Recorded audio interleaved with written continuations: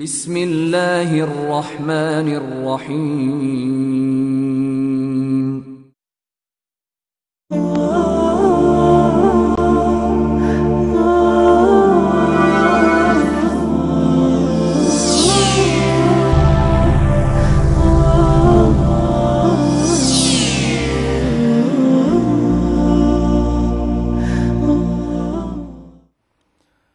আসসালামু আলাইকুম রহমতুল্লাহি ওবরকাত। আলহামদুলিল্লাহ রবিল আলমিন ওসলাত ওসালাম আলা সঈদুল মুরসালিন ওয়ালা আলিহি ও আসহাবিহি ওবারক ওসাল্লিম সুবাহানক লা ইলম লানা ইল্লা মা আল্লামতানা ইন্নাকা আনতাল আলিমুল হাকিম। সম্মানিত ইকরা বাংলা দর্শক শ্রোতা, ইসলামিক কিউএনএ উইথ ইকরা প্রোগ্রামে আপনাদেরকে আন্তরিক মুবারকবাদ। আলহামদুলিল্লাহ আমাদের সাথে রয়েছেন ব্রিটেনের সুপরিচিত, শ্রদ্ধাভাজন ব্যক্তিত্ব ফরস্কার ইসলামিক স্কুল মাদ্রাসা শেখুল হাদিস মুফতি শেখ আব্দুর রহমান দামাত পারাকাত আসসালামু আলাইকুম ওয়ালাইকুম আসসালাম ভালো আছেন আলহামদুলিল্লাহ ইনশাআল্লাহ আজকে আমরা রমজান শরীফের সাথে রোজার সাথে সম্পর্কিত জরুরি মাসলা মাসাইল সম্পর্কিত আলোচনা আমরা শুনব ইনশাআল্লাহ। এবং দশ পনেরো মিনিট পরেই দর্শকদের বিভিন্ন গুরুত্বপূর্ণ প্রশ্ন নেওয়ার চেষ্টা করব। জাজাকুমুল্লাহ খের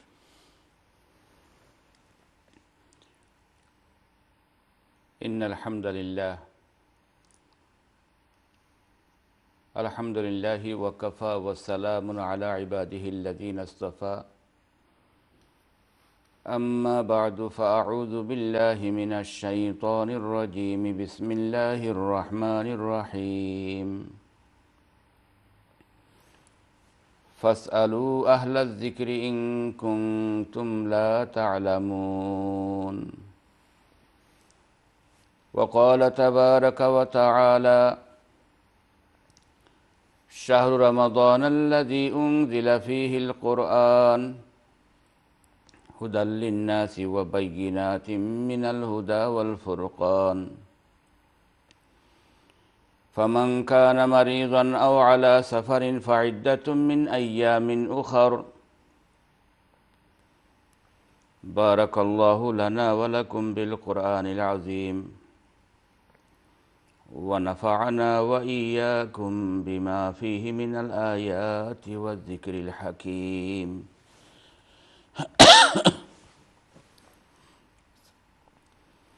সম্মানিত একরা বাংলার দূরে এবং কাছের প্রিয় দর্শক শ্রোতা ভাই এবং বোনেরা প্রতিদিনের দিয়ে প্রতি- প্রতিদিনের নিয়ে আজকেও প্রোগ্রামের শুরুতে আপনাদেরকে জানাই আন্তরিক মোবারকবাদ আজকের আমাদের আলোচ্য বিষয় হল সিয়াম এবং রোজার সাথে সম্পর্কিত জরুরি মাসাইল নিয়ে আমরা আলোচনা করব। রমজান শরীফের রোজা, আমরা যারা মুসলমান, আমাদের যাদের বুশক্তি রয়েছে, আমরা যারা বালির প্রাপ্তবয়স্ক, পুরুষ হই অথবা মহিলা হই, আমাদের উপর রমজান শরীফ রাখা ফরজ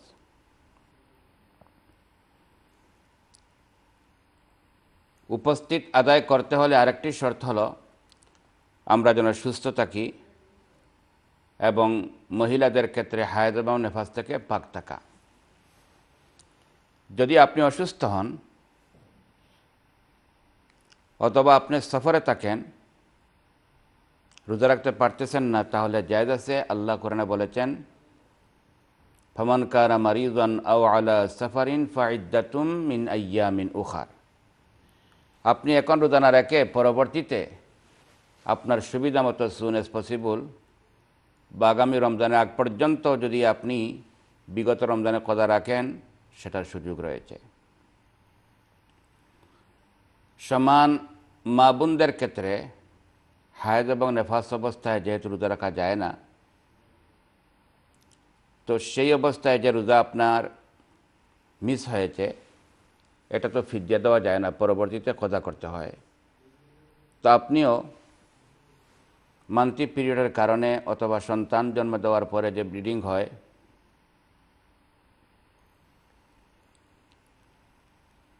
যেটাকে আরবিতে নেফাস বলে, প্রিনিডল ব্লিডিং, তো ওই সময় যে রোজা আপনি রাখতে পারেন নাই, পরবর্তীতে সুন এজ পসিবল আপনাকে রোজা রাখলেও ইসলাম বিধান দিয়েছে। ইভেন যদি আপনি লেটও করেন, যেমন মনে করেন রমজানের পরে সওয়ালের রোজা আপনি রাখছেন ছয়টা, বা অন্য নফল রোজা রাখলেন আর এই কদরটা আরও পরে রাখলেন, সেটাও জায়দ রয়েছে। তার প্রমাণ হলো হজরত আয়সা সিদ্দিকা রাজিয়াল্লাহ তালা বলেন, অনেক সময় রমজান শরীফে মান্তি পিরিয়ডের কারণে যে আমি রাখতে পারি নাই, এই রোজাটা কোনো কোনো সময় অনেক পরে শাহবানে গিয়েও রাখছি, অর্থাৎ আগামী রমজানের আগের মাসে গিয়া। তো সেই হিসাবে একটু লেট করলেও জায়জ আছে বাট লেটটা হবে। আগামী রমজান আসার পরে, পূর্বে আসার পূর্বেই যেন আমরা পুরাতন রোজাগুলো আমরা রেখে ফেলি। যারা এখন পর্যন্ত বালেগ হন নাই আপনার সন্তান, তাদের রোজার ক্ষেত্রে বিধান হলো, যদিও তাদের জন্য রোজা রাখা এটা জরুরি নয়, যেভাবে তাদের বেলায় নমাজও ফরজ নয় হজ না বালেগ অবস্থায় আদায় করলেও এটা ফরজ হজ হিসাবে পরিগণিত হয় না। পরবর্তীতে বয়স্ক হলে ফরজ হজ আবার করতে হয়। ঠিক তেমনিভাবে রমজান শরীফ রোজাও তাদের উপর ফরজ নয়। বা শারীরিকভাবে যদি তারা রোজা রাখার যোগ্যতা থাকে, তো রোজা রাখার প্রশিক্ষণ এবং ট্রেনিং দেওয়ানোর জন্য মা বাবা এবং অভিভাবকের দায়িত্ব হবে মাঝে মধ্যে তাদেরকে রোজা রাখাইয়া। রোজা রাখার অভ্যাস গড়ে তোলা। যেভাবে নামাজের ক্ষেত্রে সাত বৎসর বয়স থেকে একটা ছেলে অথবা মেয়েকে নামাজের হুকুম দিতে হয়, দশ বৎসর বয়স হলে তাকে একটু শক্তভাবে তাকে প্রেশার রেখেও নমাজ পড়ানো অভ্যস্ত করতে হয়। যদিও ওই টাইমে নমাজ বাচ্চার জন্য ফরজ নয়, কিন্তু আপনি, আমি অভিভাবকের জন্য ওই টাইমে তাদেরকে নমাজের অভ্যাস গড়ে তোলার জন্য আমাদের দায়িত্ব হলো তাদের প্রতি আমরা এটা লক্ষ্য রাখব। ঠিক তেমনিভাবে আপনার ছেলে এবং মেয়ে এখনও বয়স ভালো হয় নাই, কিন্তু শারীরিকভাবে মোটামুটি সে রোজা রাখতে পারবে, সেই পরিমাণ এবিলিটি তার আছে। এই বাচ্চার যদিও তার নিজের বেলায় রোজা রাখা ফরজ নয়, কিন্তু আপনার আমার মা বাবার দায়িত্ব হলো তাকে রোজা রাখার ক্ষেত্রে আমরা মোটামুটি অভ্যাস অভ্যাস গড়ে তোলার জন্য আমরা তাকে ট্রেনিং দেওয়াবো এখানে আরেকটি বিষয়।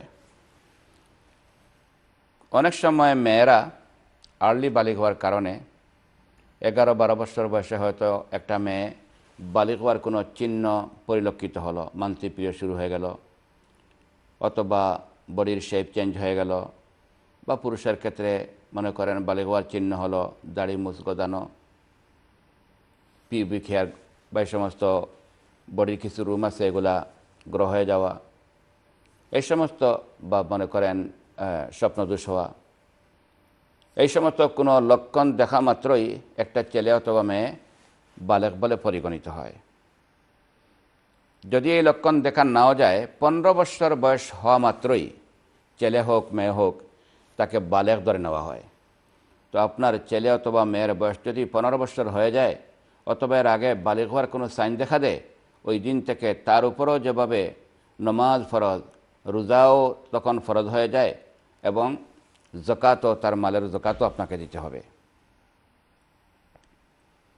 প্রশ্ন হলো, কোনো সময় এগারো বারো বছরের মেয়েটা বালক হওয়ার কারণে দেখার ক্ষেত্রে খুবই দুর্বল মনে হয়, সে হয়তো রোজা রাখতে পারবে না এখনও শারীরিকভাবে সে যোগ্যতা আসে নাই, তখন আপনি কি করবেন? যদি আদৌ একটা মেয়ে অথবা ছেলে আর্লি বালি হওয়ার কারণে শারীরিকভাবে এখন পর্যন্ত তার মধ্যে যোগ্যতা আসে নাই, হয়তো মারাত্মক কষ্ট হবে। তো ওই সন্তানকে ধরে নেওয়া হবে অসুস্থ ব্যক্তির পর্যায়ে যে উনি এখন রোজা যদি রাখতে পারেনই না, তাহলে পরবর্তীতে যে সময় পারবেন সুন এস পসিবল আরও বড় হওয়ার পরে বা শর্ট দিনে ওনাকে রোজার কদা করতে হবে। এখন হয়তো যদি একদম অক্ষমই হন, তাহলে পরবর্তীতে হয়তো এইভাবে রাখার সুযোগ রয়েছে। বাট আলহামদুলিল্লাহ আমি এই দেশে আমার নিজের অভিজ্ঞতা আমি দেখেছি। ছোটো বাচ্চারাও কিন্তু মাশাল্লাহ রোজা রাখার ক্ষেত্রে খুবই মজবুত। তারা খুবই পারে মাশাল্লাহ ইভেন আমরা যাদেরকে মনে করতেছি হয়তো পারবে না, কিন্তু তারা আসলেই পারে। রোজার ক্ষেত্রে আরেকটি জরুরি জিনিস হলো, আমাদের অন্তরে থাকতে হবে যে আমি রোজা রাখব। এই রোজা, রমজান শিবে রোজা ফরজ। ঠিক তেমনিভাবে যদি আমি রমজান রোজা রাখতে না পারি, পরবর্তীতে আমাকে কদা করাটাও ফরজ। বা আমি যদি নজর বা মান্নত করি সে রোজাও ফরজ হয়ে যায়। আবার কিছু রোজা আছে ওয়াজিব। যদি আপনি নফল কোনো রোজা আপনি রাখছিলেন, কোনো কারণে হয়তো আপনি ব্যাঙ্গে ফেললেন। ওই নফল রোজা শুরু করার আগে যদিও এটা অপশনাল ছিল, শুরু করার পরে এই পুরা করা যাবে ফরজ। আপনি যদি কোনো কারণে ব্যাঙ্গে দেন, যে পরবর্তীতে এই রোজার আপনাকে কদা করতে হবে কদা করা ওয়াজিব। এছাড়াও রোজার মধ্যে রয়েছে অনেক সুন্নত বা নফল পর্যায়ের অনেক রোজা, আশুরার রোজা আরাফার রোজা, প্রত্যেক মাসে তিন দিন আইএমএ বি যেটাকে বলা হয় তেরো, চোদ্দ এবং পনেরো। এইভাবে সোম এবং বৃহস্পতি, অর্থাৎ মানডে এবং টুইজে রোজা রাখাটাও এটাও মস্তাবের পর্যায়ে পড়ে।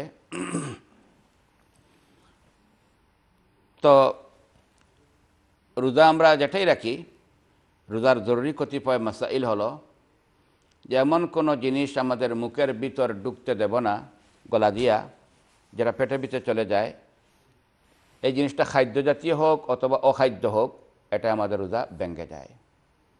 তাই রমজান সেই রোজা অবস্থায় যেভাবে কোনো জিনিস খাওয়া যাবে না, কোনো জিনিস পান করা যাবে না, ঠিক তেমনিভাবে কোনো ঔষধ, কোনো স্প্রে, কোনো ড্রপ আমাদের মুখে বা নাকে ইউজ করাও যাবে না। কেন? এটা গলা দিয়ে ভিতরে ঢুকে যাওয়ার যথেষ্ট চান্স বা ঢুকেই যাবে। এজন্য আমরা রমজান শরীর রোজা অবস্থায় আমরা কোনো কিছু খাব না, কোনো কিছু পানও করব না, ঠিক তেমনিভাবে মুখে অথবা নাকের কোনো ঔষধ যেটা হলক পর্যন্ত, গলার থ্রট পর্যন্ত চলে যাবে, এরকম কোনো জিনিস আমরা ইউজ করব না, করলে আমাদের রোজা ভেঙে যাবে। অতএব পরিষ্কার পাওয়া গেল। রমজান শরীফে কোনো নজল স্প্রে নাকের ড্রপ মুখের কোনো ড্রপ ইউজ করা যাবে না। কোনো ধরনের কোনো মেডিসিন নাকে অথবা মুখে যেটা গলার দিকে পৌঁছে যাওয়ার আশঙ্কা আমরা ইউজ করতে পারব না। প্রশ্ন হলো ইনহেলার দ্বারা ইউজ করেন। বা এরকম আরও কিছু ওষুধ আছে, কানে যদি দেওয়া যায়, তাহলে এই ওষুধ কি দেওয়া যাবে? তো যে সমস্ত বডির ছিদ্র, পেটের সাথে কোনো কানেকশন নাই, পেটে গিয়ে পৌঁছার কোনো আশঙ্কা নাই সেখানে ঔষধ দিলেও রোজা ভাঙবে না। অতএব চৌকুর ড্রপ চৌকের ড্রপ যদি আপনি দেন, বা চৌকের মধ্যে কেউ সুরমা যদি লাগায়, তো রোজা ভাঙবে না কেন? কারণ চৌকের ডাইরেক্ট কোনো সম্পর্ক পেটের সাথে নাই। ঠিক তেমনিভাবে কানের ক্ষেত্রেও একই ফতোয়া, যে কানের মধ্যে কোনো ঔষধ বা তেল অথবা পানি ঢুকে গেলে রোজা ভাঙবে না। তবে এখানে উলামা একরামের দ্বিমত রয়েছে। একটি বিষয় মাথায় রাখবেন যে বিষয়ে উলামায় কেরামর দ্বিমত রয়েছে, কেউ বলেছেন ব্যাঙ্গে যাবে, আবার কেউ বলেছেন বাংবে না। আপনি কোনটি করবেন সেখানে? আপনার রোজাকে সেফ রাখার জন্য, বিতর্ক থেকে বের হয়ে আসার জন্য এই জিনিসটা আমরা পরিহার করব। আমরা করতে গেলাম না। তো কানের মধ্যে কোনো ঔষধ দিলে, ড্রপ দিলে অথবা পানি ঢুকে গেলে, যেহেতু অনেক উলামায় কেরাম বাঙ্গার কথা বলেছেন, তো এই বিশেষ প্রয়োজন স্যার আমরা কানের কোনো ঔষধ, রমজান শরীফে আমরা কোনো ড্রপ যেন ইউজ না করি। একইভাবে ইনহেলারের ক্ষেত্রেও সমান কথা এসেছে। অনেক ওলামা একরাম ইনহেলার ইউজ করলে যেহেতু মুখের ভিতরে একটা গ্যাস জাতীয়, পানীয় জাতীয় একটা জিনিস ভিতরে ঢুকে এবং সেটা হয়তো গলায় পৌঁছে দেওয়ার আশঙ্কা রয়েছে বিদায়। অনেক উলামা একরাম ইনহেলার ব্যবহার করলে যা ব্যঙ্গে দেওয়ার কথা বলেছেন। তবে মহাক্কিক এবং যারা এটা গবেষণা করেছেন, তারা বলেছেন যে ইনহেলারের মাধ্যমে গ্যাস জাতীয় একটা জিনিস যায় এটা তো আসলে খাদ্য বা খাবার জিনিসও নয় নাম্বার ওয়ান দুই নম্বর পরিমাণটা এত কম ওনারা এটাকে মেজারমেন্ট করে দেখেছেন ওয়ান মিলির দশ ভাগের এক ভাগ। আপনারা তো মিলি বুঝতে বুঝতে পারতেছেন। তো ওয়ান মিলির ওয়ান টেন্থ অফ মিলি, এক মিলির দশ ভাগের এক ভাগ, এত সামান্য। তো এই পরিমাণ দেখলে কিন্তু বোঝা যায় যে ইনহেলারের আপনি যে প্রেস করলেন, এই প্রেস করার কারণে এত সামান্য একটা ভিতরে যায় এটাও সঙ্গে সঙ্গে এখানে মেল্ট হয়ে যায়। ভিতরে পৌঁছার মতো এই পরিমাণ, আসলে কিন্তু এই পরিমাণটা এই পরিমাণ নয়। ওনারা একটা যুক্তি দেন যে এই পরিমাণের দিকে যেমন লক্ষ্য করি, আর গলার দিকে যাইতেছে না শিওর অতএব রোজা ভাঙবে না। ওনারা বলেন, আমরা যে রমজান শরীফের অজু করি, অজু করার সময় আমরা মুখে কুলি করি, বা এমনি আমরা যে সময় হাত, মুখ ধরি মুখের মধ্যে আমরা কুলি করি, তখন কুলি করার পরেও, গার্গল করার পরে আমরা পানি বাইরে ফেলে দিলেও কিছুটা পানি সামান্য মুখের ভিতরে থেকেই যায়। ওই পানিটা থাকার কারণে বা সেই পানিটা যদি আমাদের স্লাইবা আমাদের তুতুর সঙ্গে মিলে গলায় চলেও যায়, আমাদের অজু আমাদের কী হয় না বাঙ্গে না। তো ওনারা বলতেছেন অজুর সময় কুলি করার পরে যে পরিমাণ সামান্য পানি পানি ফেলার পরেও মুখে থেকে যায়, এর চেয়ে অনেক গুণ কম হলো। ইনহেলারের মাধ্যমে যে সামান্য ফার্ম করার ভিতরে, পরে যে যেটা ভিতরে ঢুকে, এটা আরও কম। তো ওরা বলতেছেন রোজা ভাঙবে না। তাহলে কি বোঝা গেল? উলামা একরামের দুইটি মত। কেউ বলতেছেন ব্যাঙ্গে যাবে, কেউ বলতেছেন ভাঙবে না। আল্লাহর নবী সাল ইসলামের সময় তো এটা ছিল না। সেজন্য উলামা একরাম ইস্তেহাদ করে এই দুইটি মত দিয়েছেন। এবার প্রশ্ন হলো, আপনি কোনটি ফলো করবেন? যদি আমার আগের উসুলটা আপনি মাথায় রাখেন, তাহলে তো আপনার রোজার সতর্কতার জন্য রমজান শরীফের দিনের বেলায় আমরা ইনহেলার না লওয়াটাই ভালো। হ্যাঁ যদি কেউ বাধ্য হয়ে যান আর নিয়েই নেন, তাহলে আমি মনে করি নির্বাচী গোলামা কারামের মতে যারা গবেষণা করে দেখেছেন, পরিমাণ একবারেই কম, আর এটা গলা পর্যন্ত পৌঁছার আশঙ্কা নাই, তো সেই হিসাবে আপনার রোজা না বাঙ্গারি কথা বাংবে না ইনশাআল্লাহ। রমজান শরীফে অনেকের ব্লাড দিতে হয় টেস্টের জন্য, বা আপনি রমজান শরীফে তো ব্লাড, আপনি ডায়াবেটিস, আপনি চেক করলেন, ব্লাড বের করে।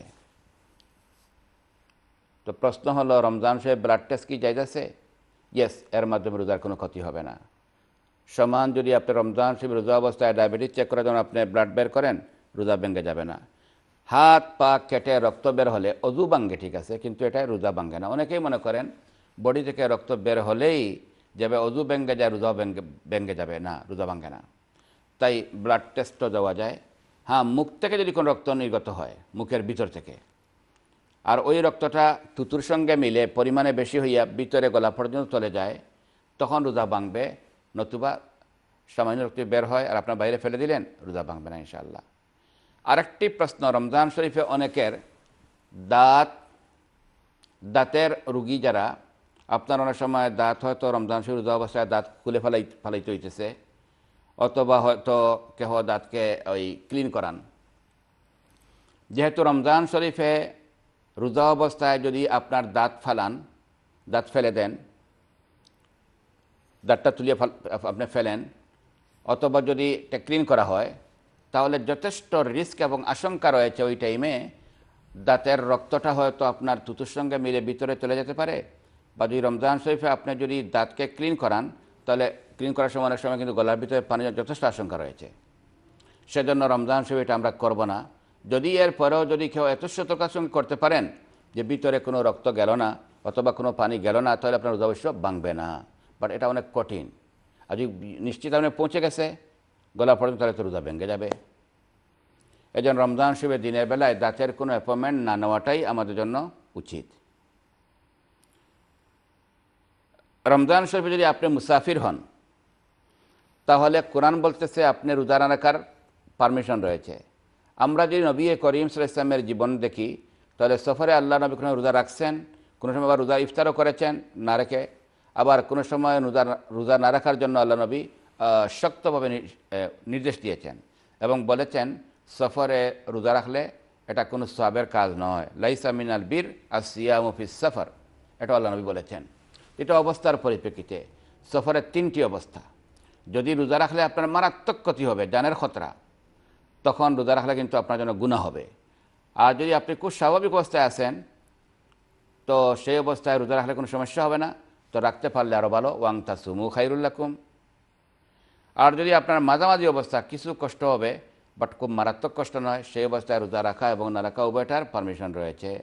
বখার শরীফের হাদিস, সাহাবি বলেন, আমরা সফরে অনেক সময় কেউ রোজা রাখিয়েছি, আবার কেউ রোজা আমরা রাখিও নাই। যারা রাখছি, যারা রাখেন নাই, তাদেরকেও আমরা কোনো মন্দ মনে করি নাই ব্লেম দেই নাই। এবং যারা রাখেন নাই, যারা রাখছেন, তাদেরকেও কোনো মন্দ বলেন নাই, অর্থাৎ পারমিশন ছিল। তো সফরে রোজা না রাখারও সুযোগ রয়েছে। তবে প্রশ্ন, যদি আপনি সেহরি থেকে আপনি মুসাফির হন, তখন আপনার ক্ষেত্রে এই মশলা প্রযোজ্য হয়। খুব ভালোটাকে লক্ষ্য রাখবেন। আপনি সেহরির টাইমে আপনি মুসাফির, বা পুরা দিন আপনি সফরে আছেন। তো ওই টাইমে তো রোজা রাখার সুযোগ রয়েছে। আবার যদি এরকম হয়, আপনি সেহরির টাইমে আপনি আপনার ঘরে আগামীকালকে ফ্লাইট, দিনের বেলায় ফ্লাইট হবে, একটায়, দুইটায় বা দশটায়। তো এবার অ্যাডভান্স আপনি কি রোজা ব্যাঙ্গে রাখতে পারেন? সেরি না খেয়ে? প্রশ্ন। কারণ আপনি অর্ধেক দিন মুসাফির, বা দিনের শুরুতে আপনি কিন্তু মুকিম, আপনি গড়ে। আপনার ফ্লাইট হবে আগামীকালকে। আপনি পুরা দিন মুসাফির হলে তো আপনার বাঙ্গার সুযোগ আছে মাসাল্লাহ আপনি যেহেতু দিনের শুরুতে আপনি মুকিম, আপনি গড়ে আছেন দিনের মধ্যখানে বা শুরুতে হয়তো আপনার ফ্লাইট হবে, তো এবত অবস্থায় আপনি গড়ে থাকা অবস্থায় আগের রাত থেকেই অ্যাডভান্স রোজা ব্যাঙ্কে রাখা আপনার জন্য কি জায়েজ? তার উত্তর এটাই বলা যাবে যে না।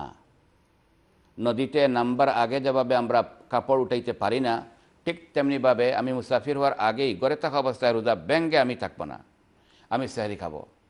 তারপরে কি হবে? আপনার ফ্লাইটে আপনি যান ফ্লাইট হোক। হতে তো পারে আপনার ফ্লাইট ক্যান্সেল হয়ে যেতে পারে, আপনার প্ল্যান চেঞ্জ হতে পারে, যেন আগে থেকে আপনি রোজা বা- ভাঙবেন না। আপনি সেরিকা রেডি থাকুন। ফ্লাইট হওয়ার পরে আপনি আবার দেখুন যে আপনার জন্য এই রোজা কমপ্লিট করা কি সম্ভব। যদি কমপ্লিট করা সম্ভব হয়, আপনি অর্ধেক দিন যেহেতু মুখিম ছিলেন আপনার ফুল রোজা আপনি কমপ্লিট করবেন। আর যদি অবস্থা এরকম হয়ে যায়, যে হয়তো আপনার ফ্লাইটটা এমন কোনো দেশে দিয়ে হইতেছে যে আপনি সেখানে ইফতারের টাইম আসতে আসতে আপনার কষ্ট হবে, আপনি রোজা রাখতেই পারবেন না। তো ওই সময় গিয়ে আপনার জন্য রোজা ভাঙ্গা জায়জ হবে। আর আগ পর্যন্ত অ্যাডভান্স রোজা ভাঙবেন না। উল্টা, আপনি দিনের শুরুতে মুসাফির ছিলেন এবং দিনের শেষে আপনি আপনার ঘরে চলে এসেছেন, মুকিম হয়ে গেছেন। মনে করেন, আপনি বাহিরে ছিলেন, মুসাফির অবস্থায় রোজা রাখেন নাই, আপনি ঘরে দিনের বেলায় পৌঁছেছেন, এখন আপনার হাতে কয়েক ঘণ্টা রয়েছে দিনের। এমতো অবস্থায় মুসাফির থাকা অবস্থায় আপনার রোজা না রাখার তো সুযোগ ছিল, আপনি রোজা হয়তো রাখেন নাই। ঘরে আসার পরেও আপনি মনে করেন দশটা বারোটা দিয়ে ঘরে আসছেন, আর বাকি দিন আপনি ঘরে আসেন কয়েক ঘণ্টা। ওই টাইমে ঘরে আসার পরেও কি আপনাকে কন্টিনিউ যদি রোজা রাখতে পারেন নাই, আপনি খাবার দাবার করতে পারবেন? এক সেন্সে লাগে আপনি পারবেন যেহেতু রোজা রাখেন নাই। আবার অপর দিকে চিন্তা করলে আপনি পারবেন না, কেন? আপনার জন্য তো মুসাফির থাকা অবস্থায় রোজা রাখার পারমিশন থাকলে আপনি মুকিম হয়ে গিয়েছেন। এবার আপনি যদি ঘরে কোনো কিছু খান অথবা পান করেন বা রোজা বঙ্গ যাবেন কাজে লিপ্ত হন, এটার সুযোগ আপনার নাই। তো আপনি কোনটা করবেন? এখানে উলামা একরামের দুইটি মত রয়েছে। তবে ইমাম আবু হানিফা রহমতুল্লাহ সহ বিজ্ঞ উলামা একরামের মতে আপনার জন্য ইমসাক ওয়াজিব, অর্থাৎ বাকি দিন আপনি খাবার থেকে আপনি বিরত থাকবেন। আপনি আর খেতে পারবেন না। কেন? যে কারণে খাবার পারমিশন ছিল, এই পারমিশন তো আপনার কাছ থেকে চলে গিয়েছে। এখানে মুস্তাফিসের সম্পর্কে আরেকটি মশলা আমি বলব। আপনারা যারা ঈদে শুধু রাখছেন, হয়তো রমজান শরীফের দেশে যাবেন। প্রশ্ন হলো, বাংলাদেশে রোজা একদিন পরে শুরু হয়েছে। ওনারা ঈদ করবেন একদিন পরে। কারণ আপনি ওই লাস্টের দিনটা, তিরিশ নম্বর দিন, আপনার একত্রিশ তারিখ হয়ে যাবে, আপনার একত্রিশ দিন হয়ে যাবে। তো ওই দিন আপনি কি রোজা রাখবেন? নাকি আপনার যেহেতু তাদের উনত্রিশ তারিখের দিন আপনার ত্রিশটা পুরো হয়ে গিয়েছে, ত্রিশ তারিখের পরের উনত্রিশ তারিখের পরের দিন আপনি রোজা রাখবেন না? কারণ এটা রাখলে আপনার একত্রিশ দিন হয়ে যাচ্ছে। উল্টা আপনি যদি বাংলাদেশে রোজা শুরু করেছিলেন, রমজানের মধ্যখানে লন্ডন এসেছেন, ওইখানে যেহেতু আপনি একদিন পর রোজা শুরু করেছিলেন, তো লন্ডনে আসার পরে আপনার একটা রোজা কম হবে। আর উল্টা এখান থেকে বাংলাদেশে গেলে এখান থেকে রোজা শুরু করে, তারপরে বাংলাদেশে রমজান শরীফের মাঝে অথবা শেষ দিকে গেলে আপনার একটা রোজা বেড়ে যাবে। ওই ক্ষেত্রে আপনি কোনটি করবেন? যেখানে যাবেন, সেখানের সঙ্গে আপনাকে থাকতে হবে। উত্তরটা কি? আপনি যেখানে যাবেন, তাদের সঙ্গে ঈদ করতে হবে বিদায় তাদের সাথে রোজা রাখতে হবে। অতএব আপনি যদি এইখানে রমজান শুরু করে বাংলাদেশে যান, তাহলে আপনার রোজা একটা বাড়লো, বাড়ক, তাদের সঙ্গে সবটি রোজা রাখতে হবে। ইভেন ওই আপনার ত্রিশটা পুরা হওয়ার পরের দিনের রোজাটা তাদের সঙ্গে রেখে এরপরে তাদের সঙ্গে ঈদ করতে হবে। পাল্টা যদি আপনি এখানে আসেন, আপনার একটা রোজা কম হলেও আপনি সকলের সঙ্গে আপনি ঈদ করে ফেলবেন, আর আপনার ওই একটা রোজাটা খোদা হয়েছে, কম হয়েছে ওটা পরে খোদা করবেন। কেন? নবী করিম সালাম বলেছেন আসৌমু ইয়মা ওয়াল ফিতরু ইয়মা তুফতিরুন। হে উম্মত, সকলে মিলে একসঙ্গে রোজা রাখবে, একসঙ্গে শেষ করবে এবং সকলে মিলে ঈদ করবে। আপনি তো একা ঈদ করতে পারবেন না। বাংলাদেশে যদিও আপনার, তাদের উনত্রিশ তারিখে আপনার হয়তো সেখানে যাওয়ার কারণে আপনার ত্রিশটা রোজা পুরো হয়ে গেলেও আপনি ওই একাতে ঈদ করতে পারবেন না। ঈদ করতে হবে তাদের সঙ্গেই। তাই সেখানে রোজা একটা বেড়ে গেলেও ওটা আপনার রাখতে হবে। আর এখানে সব একটা কমে গেলে সবার সকলের সঙ্গে ঈদ করে, তারপরে এটার খোদা করতে হবে আপনাকে। সমান আরেকটি জরুরি মাসলা মা বোনদের ক্ষেত্রে। আপনারা যারা মান্তি পিরিয়ড অথবা নেফাসের কারণে রাখতে পারবেন না, দিনের মধ্যখানে যদি আপনার এটা বন্ধ হয়, যে সময় স্টপ হলো, বাকি দিনগুলো কিন্তু আপনি খাবার থেকে এবং পানি পান করা থেকে বিরত থাকতে হবে। উল্টা, রোজা রাখছেন, ইফতারের হয়তো এক মিনিট আগে মান্থলি পিরিয়ড দেখা দিল, বা হয়তো নেফা শুরু হয়ে গেল। তাহলে এই রোজাটা আপনার ইনভ্যালিড হবে রোজা পরে কজা করতে হবে। বাট এই যে বাকি সারাদিন আপনি কষ্ট করেছেন, সেটা যেন হয়তো আল্লাহ পাকে এক্সট্রা আপনাকে রিওয়ার্ড দেবে, কিন্তু এই রোজা আপনার গ্রহণযোগ্য হবে না। কারণ এক মিনিট আগে রোজা বাঙ্গার মতো কারণ হায়াত অথবা নেফাস পরিলক্ষিত হয়েছে। এই পর্যন্ত আমরা জরুরি কিছু আলোচনা করলাম। আরও অনেক জরুরি মশাইল রয়েছে ইনশাল্লাহ আমরা সুযোগে সুযোগে আমরা আলোচনা করব ইনশাল্লাহ জাজাকুমুল্লাহ। জাজাকুমুল্লাহ খায়ের সম্মানিত বাংলার দর্শক শ্রোতা, আলহামদুলিল্লাহ, অত্যন্ত গুরুত্বপূর্ণ আলোচনা আমরা শুনতেছিলাম। যেহেতু প্রচুর কলার লাইনে চলে এসেছে। আমরা দেখি এই মুহূর্তে আমাদের সাথে প্রশ্ন কে নিয়ে আসছেন? হ্যালো কলার সালাম আলাইকুম। হ্যালো আসসালামু আলাইকুম। ওয়ালাইকুম সালাম রহমতুল্লাহ। জি। হুজুর আজ আমার একটা প্রশ্ন। জি হোক ইনশাআল্লাহ আপনার প্রশ্ন। ও আমরা বাংলাদেশে তো এদিন বাদে ঈদ নানি এখন কো- ও এদিন বাদে বাংলাদেশে ঈদের দিন ফিতরা দিলে আমরা দেওয়াই বনে আর এখন তোর ফিতরা কত করে কোনটা করবা আচ্ছা ঠিক আছে, ইনশাআল্লাহ, আপনি শুনতে থাকুন। ফিতরা দেওয়া হয় ঈদের দিন, গরিব দুঃখী, অসহায় মানুষ, এই ফিতরার পয়সা পেয়ে তারা ঈদের দিন আনন্দ করতে পারে। উত্তম তো হলো ঈদের দুই একদিন আগে গরিবের কাছে এই ফিতরা পৌঁছে দেওয়া বা অন্তত পক্ষে ঈদের আগে পৌঁছে দেওয়া। রমজানে যদি আপনি আরও আগে পৌঁছে দেন, সেটাও জায়দ রয়েছে। এবার আপনার প্রশ্ন হলো, বাংলাদেশে যদি আপনি ফিতরা দেন তো তাদের ঈদের আগে দিলেও কি আদায় হবে? ঠিক আছে বাট উত্তম হবে আপনি তাদের ঈদের অপেক্ষা না করে আপনি যে ঈদ পড়েছেন, আপনার ঈদের আগে আপনি এটা দিয়ে দেন, তখন আর কোনো সমস্যা থাকল না। কারণ এমনিতেই উত্তম হলো ঈদের এক দুই দিন আগে ফিতরাটা দিয়ে দেওয়া। বখারি শরীফের হাদিস হজরত ইবনে অমর রদি আল্লাহ তালমা বলেন, আমরা দুই একদিন আগে ফিতরা দিয়ে দিতাম। তাহলে আপনি যদি এক দুদিন আগে দেন অটোমেটিক আপনার এই জায়গার ঈদের আগে হবে। এবং হাদিস বলতেছে যে আপনি ঈদের আগে এটা পরিশোধ করবেন। আপনার ঈদ, না জায়গা দিচ্ছেন ওদের ঈদ এরকম কোনো ব্যাখ্যা দেওয়া হয় নাই। এবং নবীজি বলেন, যদি ঈদের আগে যদি আমি ফিতরা দেই, এই ফিতরার মাধ্যমে, রোজার মাধ্যমে যে কমি হয়েছিল, এই কমিটা আল্লাহ পাক মেক আপ করে দেবেন। এই কমিটাকে আল্লাহ পূরণ করে দেবেন, অর্থাৎ কমিটাকে আল্লাহ মাফ করে দেবেন এই ফিতরার মাধ্যমে। আর গরিবেরও খাবার হয়ে গেল, ঈদের দিন তার খুশি হয়ে গেল। ঈদের পরে যদি আপনি দেন তাহলে নর্মাল সরকার সব পাবেন। আপনার উপর ডিউ থাকবে লেট করার কারণে আপনার গুণা হবে। এখানে ঈদ বলা হয়েছে। আপনার ঈদ নাকি বাংলাদেশের ঈদ? কোনো ফরক করা হয় নাই। তো আপনার জন্য সেফ হবে, আপনার ঈদের আগে দিয়ে দেওয়া। ঠিক আছে ইনশাল্লাহ আর যেহেতু হজরত ইবনে উমর রদিল্লাহ তালামা সহ কালামের অভ্যাস ছিল ওনারা কমপক্ষে এক, দুই দিন আগে ফিতা দিয়ে দিতেন। তো আমরা আমাদের ঈদের আগে দিলে তো অটোমেটিক বাংলাদেশের ঈদের এক, দুই দিন আগে হয়ে গেল। তো আমরা সেই দিকে লক্ষ্য করে আমাদের ঈদের আগে দেওয়ার আমরা চেষ্টা করব ইনশাআল্লাহ। জাজাকুমুল্লাহ খায়ের আমার কাছে একটা আগে থেকে প্রশ্ন একজন জানতে চেয়েছেন যে এহরাম অবস্থায় তো সেলাই করা কোনো কিছু ব্যবহার করা ঠিক হবে না। এখন কোমরের যে বেল্ট অনেক সময় এটার মধ্যে সেলাই করা থাকে, অথবা জরুরি কাগজপত্র রাখার জন্য বেল্টের মধ্যে একটা ব্যাগ থাকে, ওইগুলি ব্যবহার করা কি কোনো ঠিক আছে কিনা? সেলাই করা কাপড় পুরুষের জন্য এহরামের অবস্থায় ব্যবহার করা নিষেধ, কিন্তু কোমরের বেল্টের ক্ষেত্রে প্রয়োজনে পয়সা রাখার জন্য এটা জায়গা আছে এটা মকরু হবে না সমস্যা হবে না।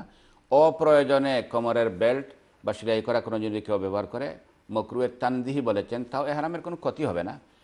তো প্রয়োজনে যদি কেউ ব্যবহার করেন সেটা সুযোগ রয়েছে কারণ ইসলাম আমাদের জন্য সব কিছু সহজ করে দিয়েছে কঠিন বানায় নাই। ঠিক আছে? জাজাকুমুল্লাহ। জাজাকুমুল্লাহ খায়ের আমরা দেখি প্রশ্নকে নিয়ে আসছেন। হ্যালো কালার সালাম আলাইকুম।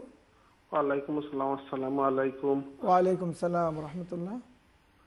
আমার প্রশ্নটা হইল, আমি গত বছর রাখতাম পারছি রোজা। এই বছরও রাখলাম চেষ্টা করলাম এর আগে দুই বছর একলগে আমি রাখতাম পারছিলাম না, আমি অসুস্থ আসলাম তো আমি ফিদিয়া দিলে ইসলাম। তো এগুলো তো আমার লাগে, আমি একটু জানার লাগে যে হতাম ঠিক আছে নি। অসুস্থ আসলাম পারছি না রাখতাম ফিদিয়া দিলেছি পরে আর রোজা রাখছি না। এটা সম্বন্ধে আমার একটু তা বুঝ কই পানি। এখন রোজা রাখতে পারলানি এখন আমি রাখতাম পারলাম। রাখছি গত বছরও রাখছি এই বছরও আমি রাখার চেষ্টা করলাম। কিন্তু এর আগর দুই বছর আমি পারছি না রাখতাম। আমার খুব প্রবলেম আছে। ওষুধ খাওয়া লাগতো আমার দিনও অ্যান্টিবায়োটিক সহ। তো মাথার প্রবলেম আছিল আমার। আমার ব্রেন স্ট্রোক করছিলাম কয়েল ফিটিং করা আছিল আর প্রবলেম লাগে আমি পারছি না। তো কখন আমি অবশ্য গত বছরও রাখছি আল্লাহ দিলে এই বছরও ট্রাই করলাম। বাকি আল্লাহ জানোই নাকি। আমি যে ও যে আরও দুই বছর আমি রাখতে পারছিলাম না করে ফিরিয়া দিয়েছিলাম ওগু সম্বন্ধে আমার ঠিক আছে নেই ওটাতে আমি আর কি জানতাম আপনার কাছ। থেকে আমি ফোনটা রাখার বাদে আমার জি জাজাকুমুল্লাহ। আল্লাহ শিফা দান করুক প্রথমত আমরা আল্লাহর শুক্রিয়া আদায় করি। আপনি অসুস্থ হলে এখন রোজা রাখতে পারতেছেন। আল্লাহ যেন আপনার মতো আমরা মতো যারা আছি আল্লাহ যেন সকলকে শিফা দেন। এইভাবে রোজা রাখার জন্য তফিক দেন আমিন। ফিদিয়া হলো ওই ব্যক্তির জন্য যিনি রোজা রাখতে পারতেছেন না, এখনও ভবিষ্যতে পারবেন না। তিন ব্যক্তির পক্ষ থেকে ফিদিয়া দেওয়া যায়। নাম্বার ওয়ান যার উপর রমজান শরীফ রোজা ফরজ ছিল আর উনি মারা গিয়েছেন, রোজা রাখতে পারেন নাই। তো মারা যাওয়ার পরে তো উনি ওই রোজাটা তো খোদা করার সুযোগ আর নাই। তো উনি বলে গেলে অথবা সম্পদ রেখে গেলে বা আপনারা যদি স্বেচ্ছায় তার ফিজিয়া দেন, তাহলে ফিজিয়া দিলে কিন্তু ওই ব্যক্তি রোজা না রাখার অপরাধ থেকে মাপ পেয়ে যান। এই এক ব্যক্তি। দুই নম্বর হলো শায়েখে ফানি, অর্থাৎ এত বেশি বুড়া হয়েছেন যে বৃদ্ধ হওয়ার কারণে একদম সব কিছু উনি হারিয়ে ফেলেছেন অ্যাবিলিটি এখনও রাখতে পারবেন না এবং ভবিষ্যতেও মানুষ তো বুড়া বৃদ্ধ হয়ে গেলে অ্যাবিলিটি ফিরে আসে না ভবিষ্যতে রাখতে পারবেন না, উনার পক্ষ থেকেও ফিরিয়ে দেওয়া যায় ইভেন জীবিত অবস্থায়ও।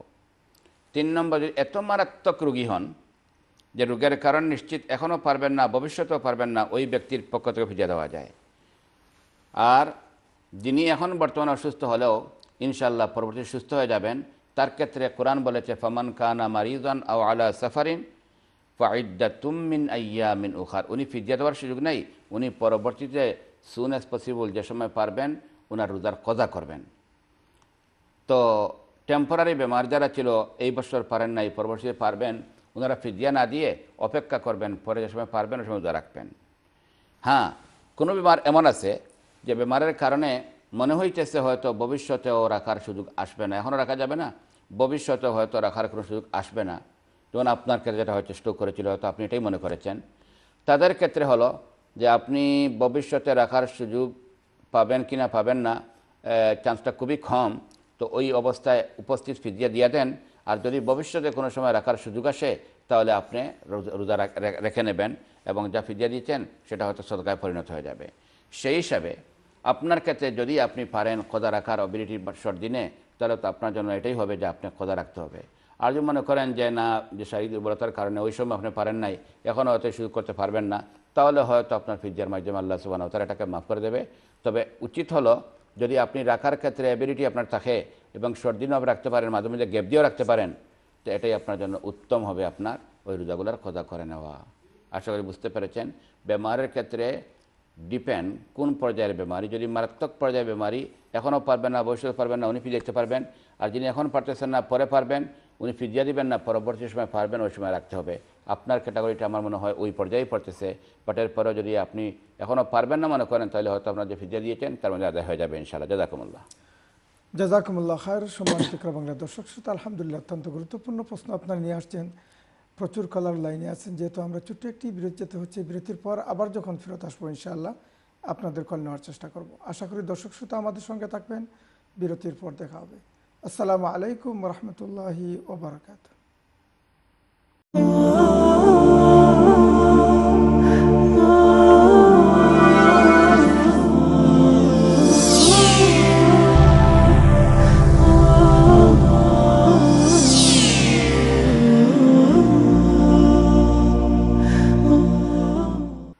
আসসালামু আলাইকুম রহমতুল্লাহি ওবরাকাত সম্মানিত ইকরা বাংলা দর্শক শ্রোতা, ইসলামিক কিউএনএ উইথ ইকরা প্রোগ্রামে আপনাদেরকে আন্তরিক মুবারকবাদ।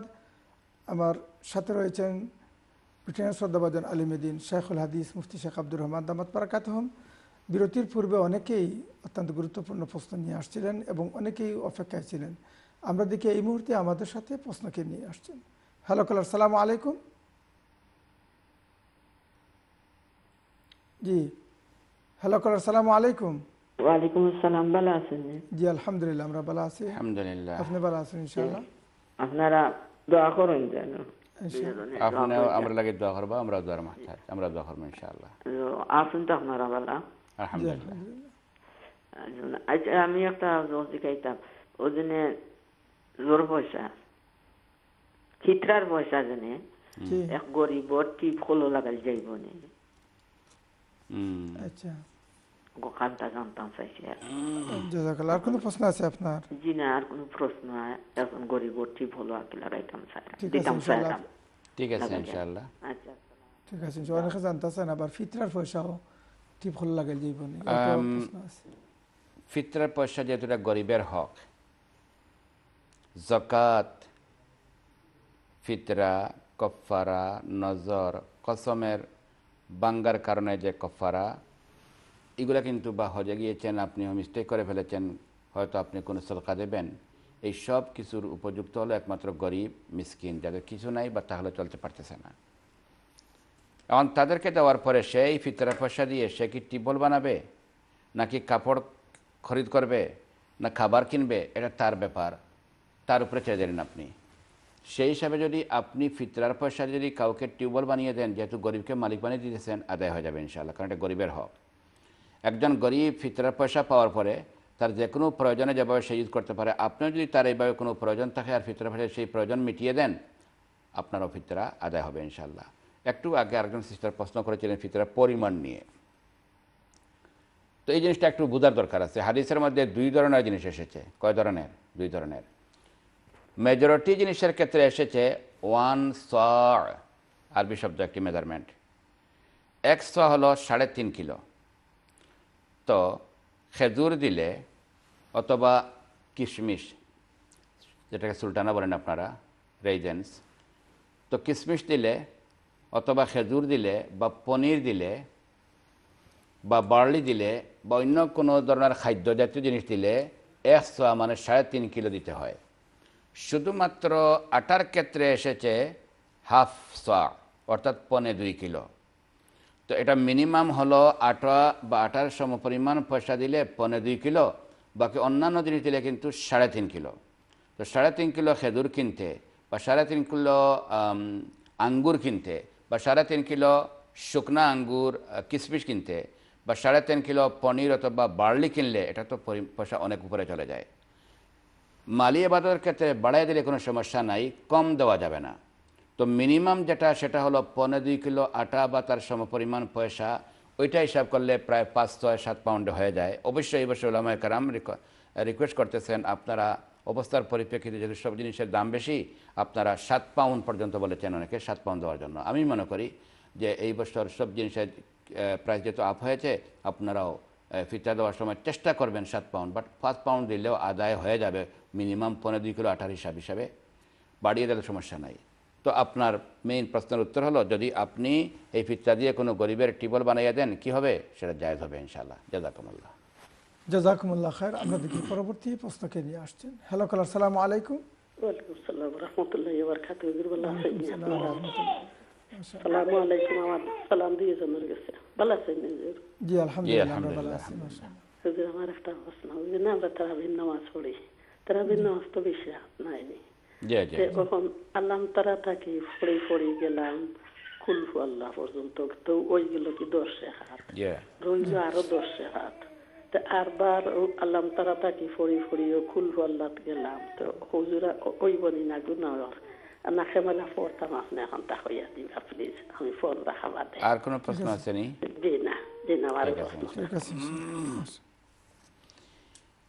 আপনি যেভাবে বলেছেন যে তারাবি পড়ার সময় আলাম তারা থেকে কুলাদুবি নাচ পর্যন্ত প্রত্যেক দুই রাখাতে দুইটি সূরা পড়েন তো আলাম তারা থেকে কুলাবি নাচ পর্যন্ত এইভাবে সূরা পড়ে পড়ে যদি আপনি তারাবি পড়েন তাহলে দশ রাখাত হয়ে যায়। প্রথম আলাম তারা এবং লীলাফি দিয়ে দুই রাখাত ইন আতইনা আড়াইতাল্লা এবং ইন্না আতইনা দিয়ে দুই রাখাত ইউল কাফির এবং তাব্বাত ইয়াদা দিয়ে দুই রাখাত ইদাজা এবং কুলিয়া কাফির দিয়ে দুই রাখাত তাব্বাত ইয়াদা এবং কুলহু আল্লাহ আহাদ দিয়ে দুই রাখাত কুল আউদ্রবির ফালাক এবং রব্বিন নাস দিয়ে দুই রাখাত দশ টাকাত হয়ে গেল। আবার আরাম তারা থেকে রিপিট করে আরও দশ পড়েন। এই ব্যয় পড়লেও নামাজ অবশ্যই হবে। কেন? আল্লাহ সুবান তারা বলেছেন ফকরা উ মা তৈয়াসারা মিনাল কোরআন। আপনি কোরআন শিফে যে অংশ ভালো পারেন, জানেন, সেখান থেকে আপনি পড়লেও নামাজ হবে। নবী করিম সর ইসলাম খাল্লাদ ইবনে রাফে নামে জনৈক সাহাবিকে বলেছিলেন, সুম্মা ইকর মা মা মিনাল কোরআন।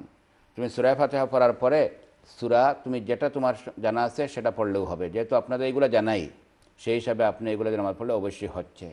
আরেকটি পদ্ধতিতে কেউ কেউ করে থাকেন যে প্রথম রাখাতে আলাম তারা, দ্বিতীয় রাখাতে কুলহুয়াল্লাহ আবার দুই রাখাত পড়লেন প্রথম রাখাতে ইলাফি, দ্বিতীয় রাখাতে কুলহুয়াল্লাহ আবার দুই রাখাত পড়তেন প্রথম রাখাতে আড়াইতাল্লাহ দ্বিতীয় রাখাতে কুলহুয়াল্লাহ অর্থাৎ প্রথম রাখাতে ওই আলামতারা থেকে কোনো একটি সুরা পড়লেন এবং দ্বিতীয় রাখাতে সবসময় কুললা পড়লেন, এইভাবে পড়লেও নামাজ হবে। যদিও আমরা জানি উত্তম তো এটাই যে পুরা কোরআন শরীফ তারাবির মাধ্যমে খতম করা, এটা সম্ভব যারা হাফেজ তাদের মাধ্যমে, অথবা আমরা যারা হাফেজদের পিছনে পড়ি, হয়তো আমরা তাদের সঙ্গে জমাতে তারাবি নামাজ পড়ার কারণে আমরা হয়তো সেই খতমের সুযোগ পাইতেছি। আর বাকি যারা আমরা একা পড়ব, আমাদের হয়তো কোরআন শরীফ মুখস্থ নাই। তো যে পরিমাণ মুখস্থ আছে, ওই জায়গা থেকে পড়লেও হবে। আর যাদের আরও কম, শুধু আলামতালা থেকে নাচ পর্যন্ত, আপনারা যে এই দুই পদ্ধতিতে পড়তেছেন আপনাদের নামাজ হবে ইনশাল্লাহ কোনো সমস্যা নাই। আশা করি বুঝতে পেরেছেন। অশেষ ধন্যবাদ। জাজাকুমুল্লাহ। জাজাকুমুল্লাহ খায়ের আমরা দেখি পরবর্তী প্রশ্ন আসছেন হ্যালো কালার সালাম আলাইকুম। হ্যালো ওয়ালাইকুম সালাম রহমতুল্লাহ। আমি একটা কোয়েশ্চেন জিজ্ঞাইতাম চাইরাম আপনার তারারে যে আমার এখন মামা নাইনি তা এখন মামারে আমরা বাইক নিয়ে তো হাতে পয়সা দিতে পারবানি ওখান তো আমি জানতাম চাইরাম না। আমরা আনসার কোনো প্রশ্ন আছে নি? জি না কোনো নাই না। ঠিক আছে ইনশাল্লাহ আমরা আনসার দিই ওয়ালাইকুম রহমতুল্লাহ।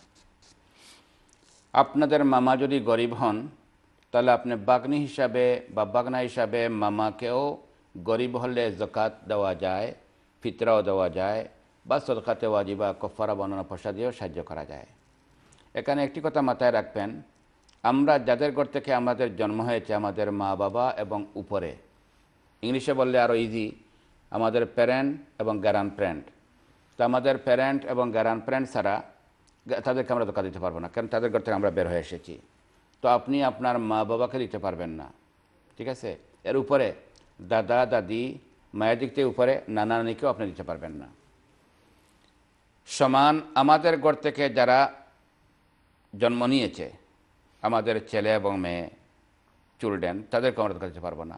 আরও নিচে দিয়া, যে ছেলের সন্তান, মেয়ের সন্তান, অর্থাৎ গ্রান্ড চিলড্রেন নাতিনসা তাদেরকে ধোকা দেওয়া যাবে না।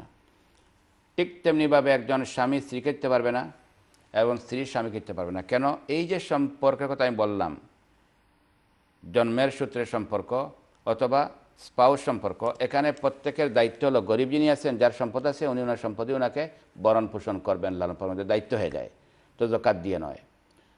এই দুই জাত সম্পর্ক ছাড়া বাকি অন্যান্য সম্পর্কের আত্মীয় যারা রয়েছেন তারা যদি গরিব হন, জকাতের উপযুক্ত হন, তাদেরকে জকাত দিলে আদায় তো হবে, বরং আপনি সবও পাবেন ডাবল। কেন? যে জকাত দিয়েছেন, জকাতের সব এটা পাইবেন। দুই নম্বর, আপনার আত্মীয়কে আপনি সাহায্য করলেন, সেই হিসাবে আপনি আরেকটি পাবেন আজরুল সদকা ও আজরুল করাবা।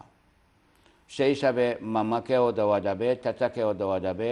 যদি গরিব হন, তাহলে গরিব হলে মামা, চাচা, নিজের ফুফু, নিজের খালা নিজের শ্বশুর, শাশুড়ি